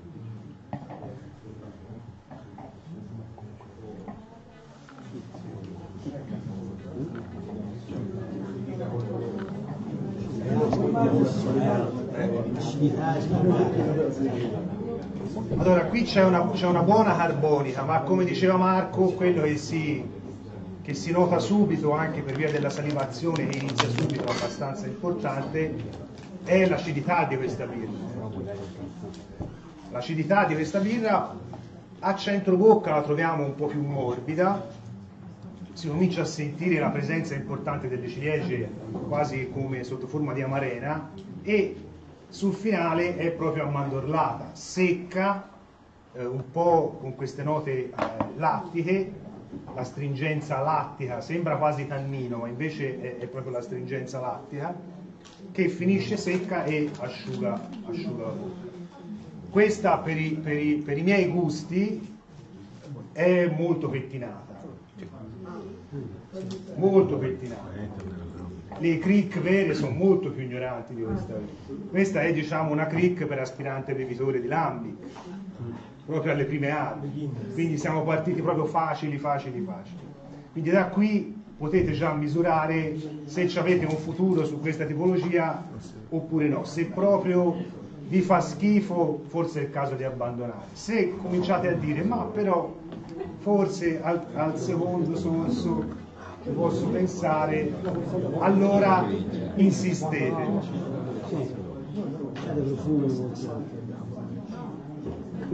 I profumi sono particolari, al naso comincia a subentrare la ciliegia, si sentono, si comincia a sentire una speziatura anche di pepe. Ma di gusto la ciliegia?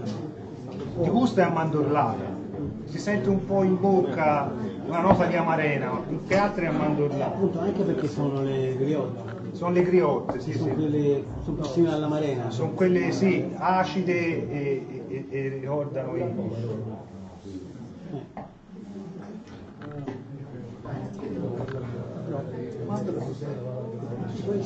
Dal punto di vista tattile astraetevi un po' dai sapori e, e dagli odori. Dal punto di vista tattile è una birra molto elegante ha una bocca veramente stupenda.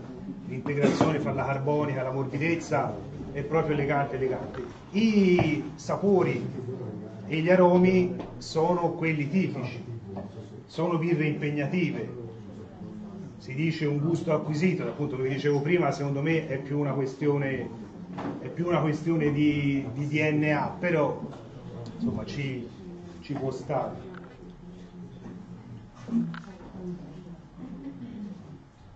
Come è andata, vedo gente, ancora vedo gente in piedi, quindi probabilmente meglio, meglio di quello che, che si pensava. è stato un impatto abbastanza tosto. È la prima volta assaggiavate queste tipologie qui? No. Avevate già... Dovevo usare di più. Sì, te, te l'hanno. Sì. Sta prendendo, c'è Facendo finita. un po' di l'aria. Perché me lo metto qua? Vabbè, dopo. Che non ti Va tocca bene. dopo. No, scusate, chiedevo siccome c'è, c'è il regista e A lei. può bere quella alla ciliegia, gli abbiamo dato una ghese così per gradire. Com'era? Da faccio una recensione. Molto buona, c'ha diciamo molto più spinta come stile, Eh, ovviamente sì. non c'è la ciliegia che copre un po'... No, lì, si lì- sente- lì, lì c'è proprio un po' più di ignoranza. lì si sente proprio. E- è una passione, veramente se uno gli garbano le birre di questo genere non ci sono vie di mezzo secondo No. me, cioè non ti possono un po' piacere. Mentre magari quello un po' dolcito alla ciliegia, ancora ancora uno ci nota comunque una, una nota un po' più dolcina, mi immagino che non mi quindi per Sì, sì, è, è, è un po' più morbida in bocca, ma dolce no. Dolce no, è abbastanza secca. È solo più morbida poi. Ci- È, è- è- è Meno meno impegnativa della ghese, sì, sicuramente sì. Anche questa è una ghese abbastanza. La Sì, sì, sì. comunque, Bella, è una bellissima bocca, ragazza incredibile. Che birra. Comunque anche questa, la, la, la che abbiamo bevuto, lì c'ha tre anni di invecchiamento. Cioè, dà- con le, con le cozze, la del kin, c'ha quell'odore Rima- di- rimaniamo comunque in ambito, eh, Sì, siccome, siccome ho Come visto capito, non ci siete rimasti tanto ha male, discesa, no? allora rimaniamo in zona. Hai visto, c'ha questo odore un po'. Rimaniamo in zona e scusate, rimaniamo in zona e non sono proprio birre a fermentazione spontanea, ma sono le, le- le parenti più vicine, sono quelle eh, a fermentazione mista. Perché si chiamano a fermentazione mista? Perché la fermentazione principale viene fatta inoculando il lievito di alta fermentazione, poi quando vanno messe in botte subentrano tutte le eh, popolazioni batteriche che si trovano nella botte, di solito sono batteri lattici o brettanomices, che eh, fermentano ulteriormente. Adorano la quercia, adorano il legno. Che adorano sì, quel legno proprio pulito bene, eh, stanno. gli, gli piace, gli piace star lì. Eh, sostanzialmente gli stili sono due, ma sono molto simili, ossia sono quello delle Belgian Red Ales o Belgian Red Beers e delle, eh, e delle Old Brewing. Sono una delle Fiandre orientali, l'altra delle Fiandre occidentali come stile, ma sono fatte in maniera abbastanza simile. E come vi dicevo, si tratta di birre di solito con i malti chiari, ma quasi sempre c'è un'aggiunta di malti scuri per le, per le red, che fermentano normalmente con l'inoculo di lieviti eh, tipici del, del birrificio, poi vengono messi a invecchiare da 1 a 3 anni in legno e lì c'è l'attacco dei batteri lattici. Eh, la eh, Oat Brewing invece è tendenzialmente più scura, mentre le, le red sono più rosse, ricordano quasi il, il rubino del vino, le Oat Brewing sono più, più marroni, più scure, e, eh, però sono fatte più o meno nella stessa maniera. Anche qui c'è l'inoculo e anche qui c'è l'attacco dei, dei batteri lattici eh, in fase di, di affinamento e invecchiamento. Sono birre un po' più rotonde, un po' più morbide, però in generale sia queste che le red vengono, eh, vengono eh, imbottigliate facendo una- un mix fra birre più giovani e, e birre più vecchie, in maniera tale sempre che per il- lo stesso discorso degli zuccheri residui ci sia una eh, rifermentazione, una rifermentazione in bottiglia. Eh, quindi sono appunto birre molto particolari che eh, nonostante siano considerate molto classiche in realtà sono abbastanza recenti in questa, in questa formulazione qui. E se volete potete iniziare anche con la prossima.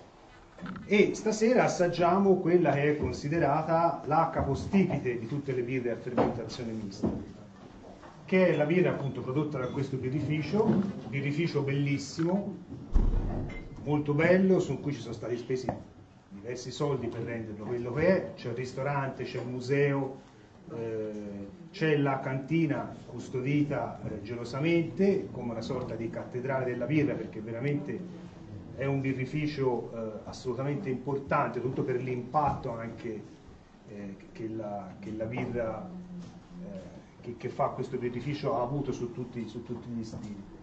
La cosa particolare di questo birrificio è questi grandi food, queste grandi botte cilindriche che arrivano anche a, a 3 ettolitri, a 300 ettolitri, che vengono no, 3000 litri, quanti sono? Anche, anche da 3 a 6 mila Da litri. 3 a 6 da 30 a 6 litri.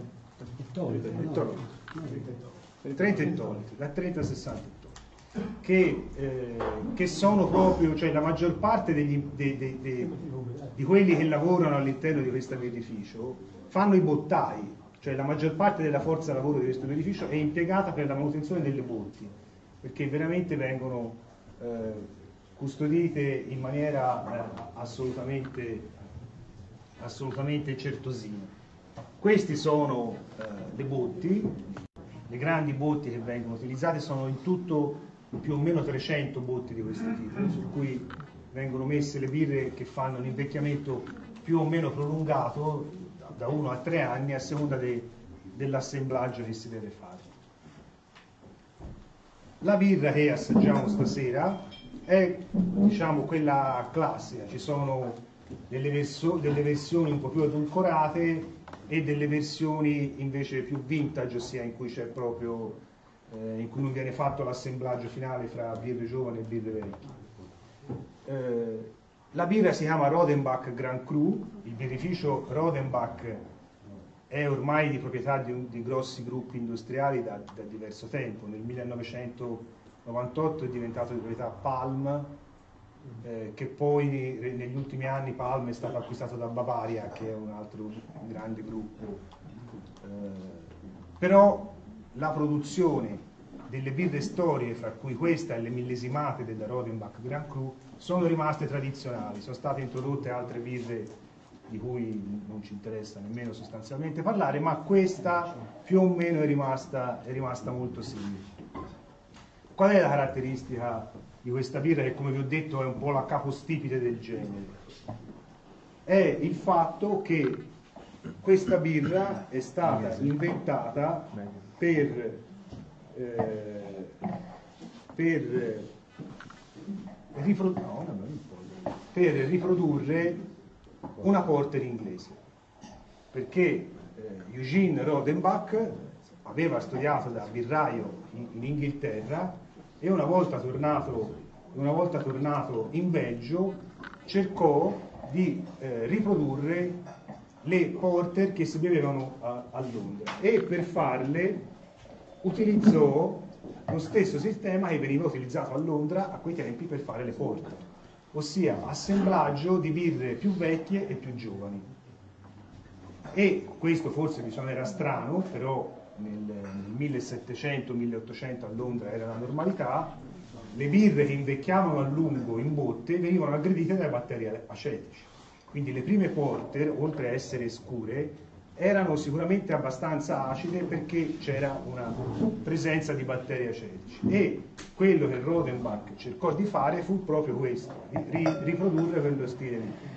Ovviamente non gli venne uguale, gli venne un qualcosa eh, di simile, ebbe un, un- immenso successo commerciale e da lì poi tutta questa eh, moda di copiare questa birra si allargò un po' in tutte le Fiandre. Qui queste birre di questo tipo un po' più rosso e nelle altre, nelle, nelle Fiandre orientali invece eh, queste birre più scure, proprio più, forse ancora più simili come colore alle, eh, alle porte. Questa è una birra, sì, esatto. Eh, poiché non, non viene fatto, eh, non, viene, non si vuole fare, è voluto, è sempre stato così, non viene fatta di fermentazione, cioè l'assemblaggio delle birre, in realtà anche se qui c'è una birra giovane, la birra giovane che viene aggiunta eh, non ha una quantità sufficiente di zuccheri per garantire una rifermentazione. Quindi le birre, per non alterare il gusto acidulo, vengono imbottigliate così come sono e vengono addizionate, saturate di, di CO2. Quindi qui non c'è una vera e propria rifermentazione in bottiglia, eh. se c'è è proprio minima, la CO2 che c'è è, è aggiunta. Qui c'è proprio la, la- la volontà di cara- caramellizzare il più possibile la birra e eh, la fermentazione secondaria, quella dei, dei batteri acetici, avviene durante la fase di invecchiamento. Una volta terminata questa fase avviene l'assemblaggio, la saturazione di CO2 e eh, l'imbottigliamento. Esistono anche delle versioni che sono totalmente composte da eh, birre vecchie che escono tutti gli anni anche con eh, di 10-20 anni prima perché questa è una birra che ha una capacità di, di raffinamento abbastanza, abbastanza prolungata. Profumo di caramello. profumo abbastanza caramellato, vedete, allora il colore non è proprio rosso, è, è un, è un marrone le- va- va- leggermente ambrato, un'ambra molto, un'ambra molto scura. Al naso si sentono dei color caramello, color caramello, giustamente. Al naso si sentono le note acetiche, si sentono le note caramellate, Un misto, eh. e, si sen- sì. e- e le note più fruttate dei, dei malti un po' più scuri. Si, si sentono anche un po' gli off flavor, eh? La parte acetica. la parte acetica e formaggiosa arriva piano piano. Sì, ecco, È formaggi. normale questo sentore. Sì, sì. È normale. È sciupata. cioè. Butta via. Buona buona.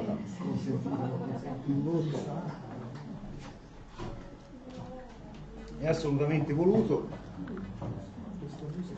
È quasi un, un piromatico il naso un po'. Al naso sì perché questa, questa bollitura, molto, questa bollitura molto lunga eh, cuoce molto sti malti, li, li caramellizza proprio tanto. In bocca è meno paurosa che al naso, eh. in bocca è, è tutta un'altra birra rispetto al naso. Sì. È una birra in cui la carbonica... Sì. Guarda cos'è, degli animali pure. Non ti è piaciuto? C'è la, la carbonica e l'acidità che vanno abbastanza a braccetto in bocca e tengono sulla birra, il finale è morbido, eh? il finale è abbastanza morbido e tutti questi off flavor che si sentono al naso in bocca si sentono un po' meno, sono delle note un po' più, un po' più pulite. È più ecco, ora piano piano che si escono delle note più di sherry, più, di- più- più ossidative. Ossidativo tanto. Sì, piano piano che si scalda escono delle note ossidative che ricordano, cioè, l'acetico all'inizio era proprio è il bello tosto. Sì, sì, ma è lei, cioè, è- l'evoluzione è questa, eh, lo so. Poco da temperatura, quell'altro due che deve fare tutte e due. Ma ora beve la Bex, insomma. Tanto serve Poi tanto sì, col tempo ci vuole un po' a. Questa sarete d'accordo, penso, che se l'altra era più ostica, questa è, è una birra che ha, che ha una sua, che ha una sua bevibilità, anche se comincia, continuano a dominare le note acetiche e, e- e lattiche. È una birra considerata questa molto dissetante, molto, molto considerata molto elegante, vi dico considerata perché penso che qualcuno di voi avrà delle obiezioni. Eh, Quando, eh, quando ne parlava eh, Michael Jackson, che è il noto giornalista di, di birra, diceva che questo era il Borgogna delle Fiandre, cioè la assimilava molto per questi suoi aromi e per questa sua bocca a, a- a un vino, no? Diceva che era una birra quasi, quasi vinosa, che ricordava la, la complessità, la complessità di un vino. C'è una, una persistenza notevole nonostante la gradazione sia anche Sì, è una birra di bassina. 6 gradi, non è una birra molto alcolica. Comunque resta per tanto tempo il gusto. No, vabbè. Siamo partiti con le birre morbide, dalle- alte. no, per, per ripulirsi la bocca, diciamo, no? come, si dice, come si dice in questi casi. No, va bene, ri- ri- poi magari se volete ci torniamo sopra dopo, che si alzeranno un po' le temperature, ma magari se le volete riassaggiare si riassaggiano. Rientriamo un po' nell'alveo del- delle birre che ci sono, anzi andiamo proprio in quelle che forse sono quelle più conosciute al, al bevitore medio, no? che, sono, che sono le birre d'abbazia, cosiddette. In realtà gli stili d'abbazia, così come li conce- li concepiamo oggi, esistono più o meno dal- dalla metà del 1900, 1920-1930. Prima non esisteva uno stile d'abbazia codificato, ogni abbazia faceva la birra come gli pareva. E il bello è che la maggior parte delle birre che uno pensa siano d'abbazia, l'abbazia l'hanno vista forse in fotografia, perché in realtà non è così. Perché questo? Perché ovviamente mettere, come, come dico sempre a, a- lezione, mettere il monaco in etichetta faceva vendere. Pensate San Bernardus, Eh, questa, la capa. la Capitel anche. San Bernardus per esempio non è assolutamente una birra d'abbazia. C'ha la fortuna di avere le licenze di, di- di due grandi birrifici, cioè la, la ricetta della Garden per la Blanche e la ricetta de- de- di Vesbleteren per le altre birre. Quindi eh, San Bernardus è un gran bel bere, però con l'abbazia non c'entra nulla. Tant'è che a un certo punto i monaci eh, ebbero un, che dire su questo fatto, perché insomma, la maggior parte delle birre che vendevano in Belgio c'era un monaco in etichetta quando poi l'abbazia nemmeno l'avevamo vista da lontano. Che ne so, Affligen, per dirne una. Sì, no, vabbè, quella Quella, industriale. no, però le, ulti- le ultime pubblicità che hanno fatto della Affligen, eh, con quella con... eh, Ah, sì, con... se, infatti, se no ci denunciano subito, però eh, quella, insomma, con lui si va da un bel monacone eh, che gli dice guarda noi monaci a Afflingen, quando Afflingen, monaci, è dalla rivoluzione francese non ci sono più nemmeno per sbaglio. Anche la cronica della riserva è Eh? fatta dall'Africa. Non si può dire perché sennò ci denunciano, te lo dico dopo. Personaggio televisivo. Personaggio televisivo che va nei ristoranti. Bah. Eh, allora, facciamo nomi perché già, no- già si è detto Afflingen e ci può, Eh, quindi siamo a rischio. Quindi, in diretta televisiva non si fanno nomi. E, Esagerato. Perché in televisiva, eh. ah, no, ah, ok. No, no. No, siamo su Rai 2. Già Giovanni eh, varie volte ha rischiato delle, delle generali. No, no, ma sono è Sì, andato questo a metto bere a tutte da Giovanni, ma... Giovanni salutiamo. Quindi cos'è successo? Allora è stata creata una legislazione, questo chi ha fatto lezione de- della birra a corso con noi gliel'abbiamo già detto, c'è una legislazione eh, che ha vari gradi di elasticità. Per esempio una cosa che fa abbastanza sorridere è che se te birrificio fai una birra mettendo in etichetta il nome di un santo, di un monastero di un'abbazia che non esiste, quindi te lo inventi, o se utilizzi il nome di un'abbazia che non è più un'abbazia, che non esiste più, lo puoi fare. Quindi appunto San Bernardus è un'abbazia inesistente, quindi si, si può mettere. Afflingen ormai non c'è più monaci da una vita, quindi si può, si può utilizzare. Il problema è che il consumatore finale in realtà non è che sarebbe tanto autorizzato a sapere se quell'abbazia o quel monaco esistano oppure no, però insomma diciamo è abbastanza a maglie larghe. Una cosa un po' più stretta è questa, ossia la birra d'abbazia certificata, che vuol dire che il birrificio che fa quella birra ha un accordo commerciale con un'abbazia e quell'abbazia gli ha detto va bene, te fai la birra e puoi utilizzare il mio nome o in alcuni casi c'è un rapporto anche produttivo, magari alcune fasi della produzione vengono fatte proprio dentro, dentro l'abbazia. Le uniche birre veramente e unicamente fatte dai monaci all'interno dell'abbazia con il processo produttivo totalmente sotto il controllo dei monaci che possono essere vendute solo per avere eh, autosostentamento, per fare opere di carità, sono le birre che hanno questo bollino qui, ossia le autentiche birre trappiste. Queste sono le uniche vere birre fatte, fatte dai monaci. Poi dopo vi faccio vedere anche quante sono, quali sono, intanto vi parlo degli stili. Questa però è l'unica che c'ha. Questa è una, questo è, Valdier è un'abbazia che esiste veramente, che ha un accordo commerciale con il birrificio che gli fa, che gli fa la birra. Questa è una, un'abbazia che ha, che ha diritto a questo, a questo bollino qui, questo centrale. Eh, gli stili tipicamente d'abbazia che sono stati codificati, vi dicevo, all'inizio del 1900, sono essenzialmente tre, però quelli che si conoscono noi sono due. Quelli che si conoscono sono le, da, le double e le triple, le doppie e le triple, come tradotto eh, in maniera abbastanza rozza in italiano. E come sono stati codificati questi due stili? In realtà double e triple faceva riferimento solo a, a, alla potenza zuccherina del mosto che veniva utilizzato. La leggenda vuole che le, le, le botti fossero marcate con una X nelle birre che erano fatte con il mosto meno zuccherino, con due croci quelle che avevano il mosto un po' più zuccherino e con tre croci quelle che avevano, quelle che erano state fatte con il mosto fiore, quello più ricco di zuccheri. Da qui il nome di dub, double e triple per, per questi stili. Il fatto che oggi le double siano scure e le triple siano chiare è legato a Westmalle. Westmalle è un'abbazia trappista che fu la prima che nel 1926 fece la prima birra d'abbazia Dubbel trappista scura. Quindi una birra scura che ha una rifermentazione in bottiglia, il colore non è dato dai malti, il colore è dato dallo sciroppo di caramello eh, molto scuro che viene aggiunto in fase di fermentazione.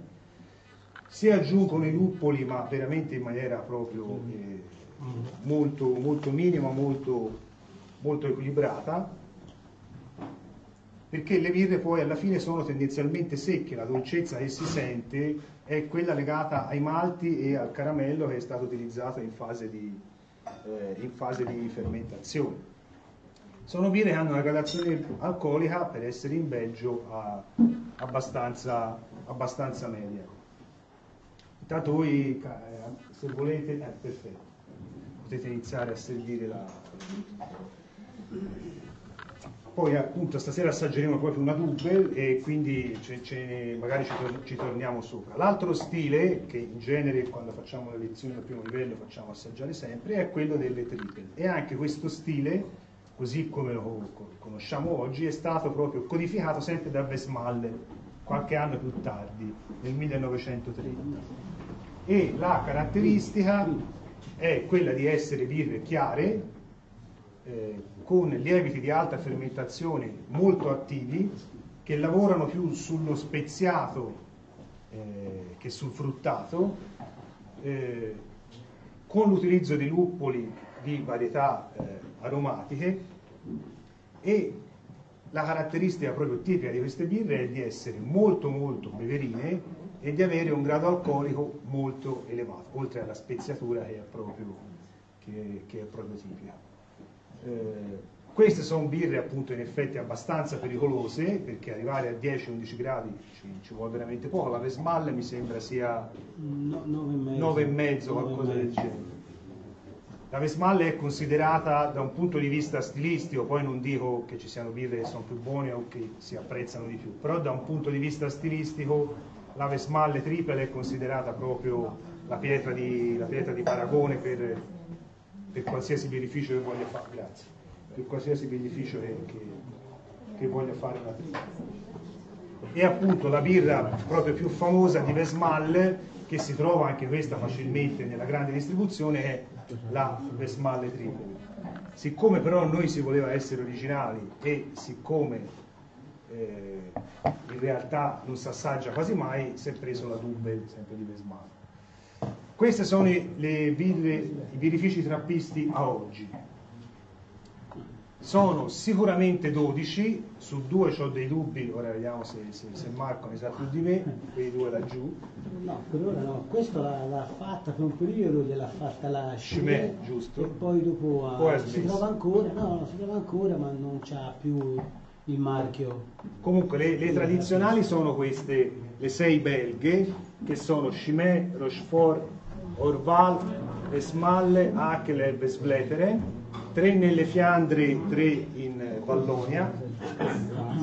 La Trap che ha fatto un po' avanti e indietro col marchio perché c'aveva un accordo con lo Heineken quindi a un certo punto gli tolsero il marchio trappista e poi gliel'hanno ridato. Queste sono tutte nuove, Zundert, Spencer negli Stati Uniti, eh, San Bernard negli- nel Regno Unito, questa non la so pronunciare in Austria, la Bazzia delle Tre Fontane a Roma, eh, una delle ultime arrivate, e poi c'è appunto queste due che sono birre prodotte in abbazie trappiste ma che a oggi ancora non hanno il, il bollino. Cardegna perché è proprio nuova nuova.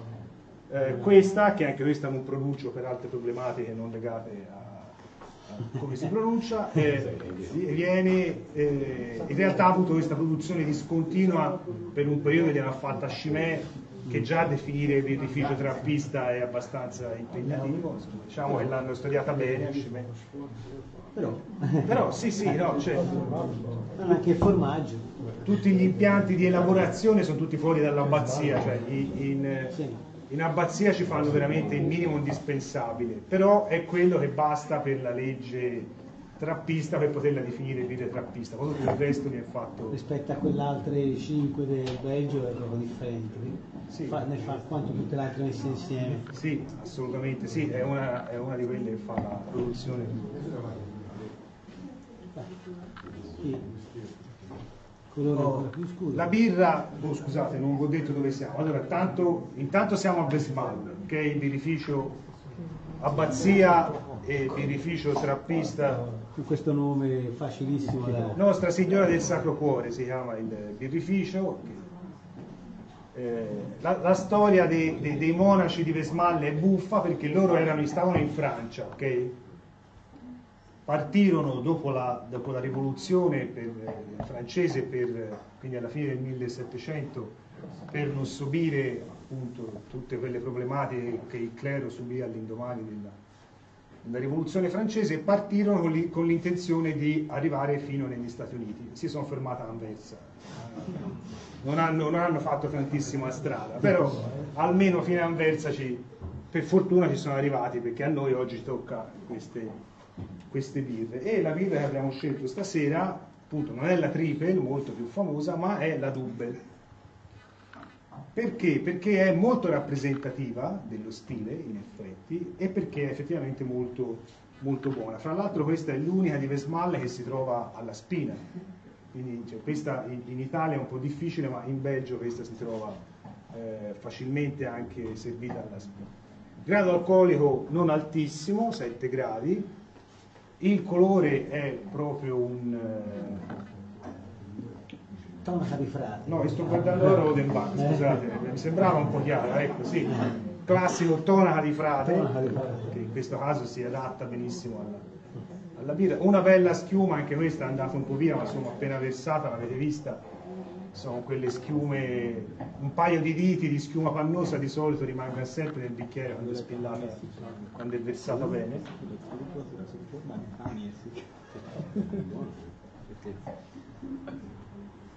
Profumi che chiamano malto, tutti dolci. Al, al naso è molto dolce, sì, come si sente la lieve speziatura del lievito, la lieve spe- ormai i lieviti, stasera questa speziatura dei lieviti è stato un po' filo conduttore di quasi tutte le birre, escluso quelle a fermentazione spontanea e mista, e poi le note dolci, le note dolci dell'uva passa, de- de- della frutta secca. po' di prugna, Secca, sì. un po' di fico. Fredda? Un po' sì. In bocca è ricca, è proprio ricca, ci sono delle leggere note mentolate, balsamiche, eh, finale leggermente appena appena marugnolo, asciutto, che, che asciuga, e si sente la- anche qui in bocca domina, domina la frutta, è ricca con queste note di frutta, di frutta secca, di frutta candita. Che dicevi, avevi detto Lillo che qualcosa prima? Fico, che avevi detto fico, queste note, sì, anche. Una sorta di passito. Un po' di prugna, un po' di Sì, c'ha- c'ha- è una birra che specialmente nel finale si percepisce secca, si sente che non è una birra dolce, c'è un residuo di zuccherino, però tutta la parte di ingresso in bocca e di centro bocca è decisamente morbida e quasi dolce, insomma la dolcezza eh, dei, dei malti e del caramello è quella percepibile. è, mm, che sovrasta tutto il resto. Poi è talmente opulenta che alla fine. Mm. Cioè ti dà questo senso un po' di. Sì, perché c'è questa- anche perché è molto opulenta e molto morbida. La rifermentazione in bottiglia gli dà questa carbonica molto fine che, che aumenta proprio questa sensazione di avvolgenza, di pannosità proprio della, della birra. È abbastanza di riferimento questa come, come birra di stile, veramente, veramente molto molto particolare. Potete, potete servire anche quell'altra, eh, mentre si continua a Invernali. Ora vi- noi si continua a parlare. No, in realtà sei quasi. Comunque ora vi servo la birra a sorpresa. No, c'era l'altra volta. Quando si è fatto c'era la 12. ho Fatto... Quando è stato? Due anni fa? Due anni fa. Sì, c'era la C'era Vespa e C'era la Vespa che l'hai portata. No, se l'ho ordinata. Ah. dallo spacciatore. C'era, c'era proprio un spacciatore. Uno spacciatore. No? Magari il sì, no, è, è un sito. Anche questo Belgio. Non è quella di gelato solamente se No, ma la trovi su internet. Io ho comprato per caso. Ma non a... su internet in Italia non a quanto? 16, 17. Ah, Su, dallo spacciatore professionale a sugli Non occhi. sapevo più per lui. è già un pezzo. Compriamo le 65 casse. Ah, si dovrebbe fare un ordine, se tu Le- le- i- i birrifici trappisti paga Sono eh. tutti in generale molto accessibili, ok? Quindi a parte trovare le birre nella grande distribuzione, quindi Rochefort, Hakel, qualcosa di La Trappe, sono tutte grandissime, Orval, ecco, sono birre che magari si vedono negli scaffali della grande distribuzione e si pensa, vabbè, sono birrette, no, sono grandi birre, cioè, specialmente la, la Rochefort 12, la Orval, Normal è anche un po' di bretta. cioè- L'Orval è anche leggermente brettata, eh, però già più, più bevibile Un di fumino di chiodo di garofano. molto molto cioè sono veramente birre da provare se vi capita a provare. Ovviamente il Vesbleteren, quello per cui vi ho messo ora vi parlo di Vesbleteren, ma la birra che beviamo non è Vesbleteren, vi levo subito No, anche perché la fanno solo piccolina, questa è una bottiglia grande. Vesbleteren è quello più inaccessibile, per cui è necessario prenotare telefonicamente, dare il numero di targa, dare il numero di telefono, andare lì, prendere la birra che c'è a disposizione, quindi o, tut- o tutte oppure solo una o due tipologie, e per 60 giorni non si può più riprenotare. E in teoria la birra non potrebbe essere rivenduta, quindi quelle che si trovano sui siti, eh, è tutto una sorta di contrabbando, perché i monaci non vorrebbero che la birra venisse, venisse rivenduta. Con la, È simile a, a- a questa. Con la, ora, con la birra misteriosa io volevo mantenere un po' di suspense anche sul fatto che fosse una birra o meno, però appena me l'hanno versata nel bicchiere il, il trucco si è svelato perché fa la schiuma o è un prosecco andata male oppure una birra, non è che ci sia Pedro Jimenez con la schiuma. Pedro Ximenez. Alla È Coca-Cola. Alla schiuma è sapone. bottigliato quindi ovviamente ovviamente è una birra il problema è che è una birra strana ce l'ho io sì, ce l'ho. Vai. Ora qui. Ora qui però ci diciamo qualcosa. ora però ce ne parla eh, effetti ce la- questa ce la raccontate voi ora. quindi prendate, prendete un po' di tempo per assaggiarla E dire cosa ne pensate. No, questa l'ho già bevuta, eh. Eh? Questa già bevuta, l'altra non la sedere, questa.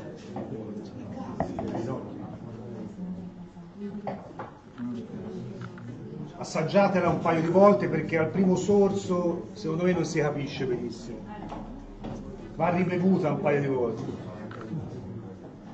e va fatta scaldare un attimino, eh, quindi fatela scaldare un c'è una attimino. forte. Magari tenerla un po' di più in bocca prima della degustazione. Fetta finale dolce. Non amare. No. 3 gradi e mezzo. Cioè, senza che ci sono cioè, Tipo eh, le, California Home, quando era 3 gradi e mezzo. non lo dirò mai, eh. Finisce troppo lungo. Questa l'inizio è fatta. poi ve lo dirò, però per ora non ve lo dico. Diventa un po'. Di forza. Dolce, dolce, dolce, quella La rotella. La rotella. Non va bene. Allora, birra scura, va bene, quindi fin qui non ci sono. Certo, Schiuma, Poi è una forte il becco Ce in n'aveva, l'ha perso un po' più rapidamente delle altre. Come corpo, No, quello ci sta. troppo ce n'ha. La birra di bevi- eccessivo. bevibile. Ha una sua bevibilità, la birra che scorre anche questa, è un po' la caratteristica di tutte le birre? Dal punto di vista aromatico però è abbastanza diversa dai Chisendo Gofio. Ok? Che ci sentite qui dentro? Potrebbe essere voce. Inizia molto. Malto tostato, tostato. Caffè, liquirizia, malto, frutta secca, Non come stout, ma datteri, delle note speziate anche di spezia,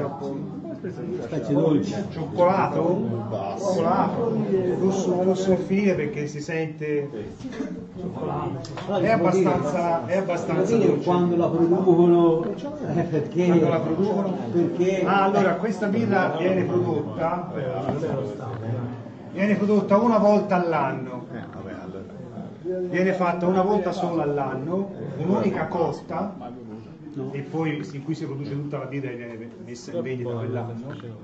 viene eh, messa viene prodotta in un giorno specifico che è il 24 febbraio che è, che è la- l'anniversario della data di nascita di, un, eh, di qualcuno in, real- in- in particolare il 24 febbraio del 1500 secco.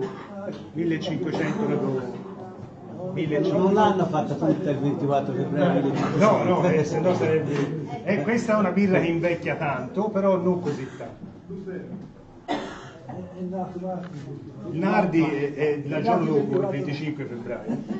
Del 1500 il suo compleanno il 22 gennaio 1500 prima, prima, eh, prima del 24 febbraio. Una certa calma La speziatura potrebbe far pensare a una birra di Natale, per come ve l'abbiamo presentata, però non è una birra di Natale. Perché il 24 febbraio ovviamente... però A noi ingresso in bocca ci sembrava una porta e ma finisce è una, lungo. è una birra anche questa molto invernale eh, non è Sì, una ma ma- febbraio eh, ma, ma, matura Ma parecchio molto. dentro. È una birra che ha una sua acidità... Se fosse vino mi verrebbe da dire malica, ma insomma ha un'acidità importante.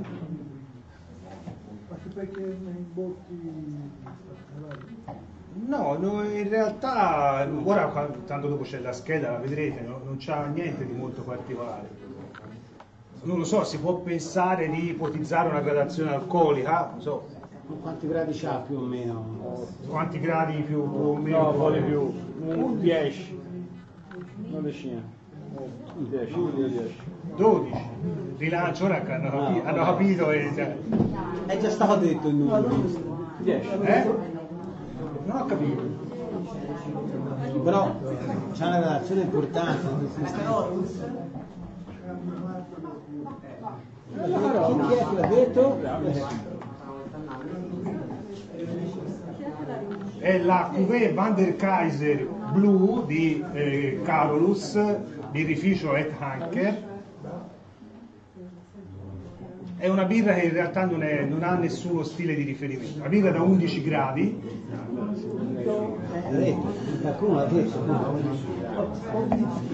quella che stiamo bevendo è la 2018, quindi l'ultima brassata Questa è una birra che uno la prende, ne compra due bottiglie, una se la scorda in cantina e quell'altra la beve.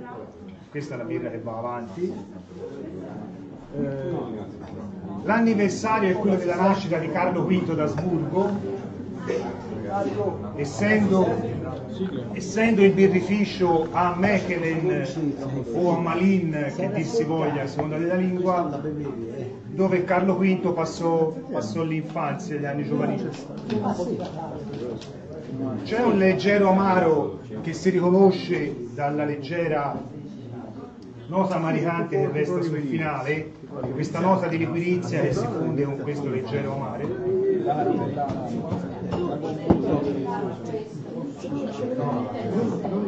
Questa è una birra, se quelle di prima erano pericolose, questa è pericolosissima. Perché ha una beva abbastanza eh, facile, ha una beva abbastanza facile, però sega le gambe abbastanza rapidamente, perché 11 gradi, specialmente qui si sentivano di questa beva, si sentivano tutti qui in bocca no, ma qui sul- sull'esofago si sentiva proprio questo calore pro- pronunciato.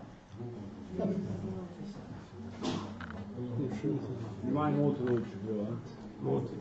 Bere una bottiglia è lunga, eh. È una bottiglia Ah, io la berrei. soli, un po'. Io forse la berrei. Piano piano. No, questa andrebbe assaggiata, secondo me, sì, esatto, andrebbe assaggiata qualcosa di, di anni diversi. Perché questa è ovviamente questa dolcezza più, più che passa il tempo. Come tante le tutte le. Formaggio, formaggio? Sigaro un formaggio. Divano e macchina. Sì.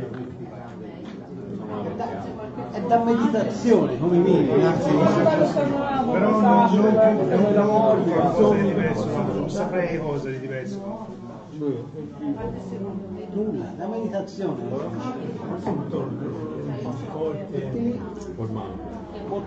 Io, io sì, ma non fottesto.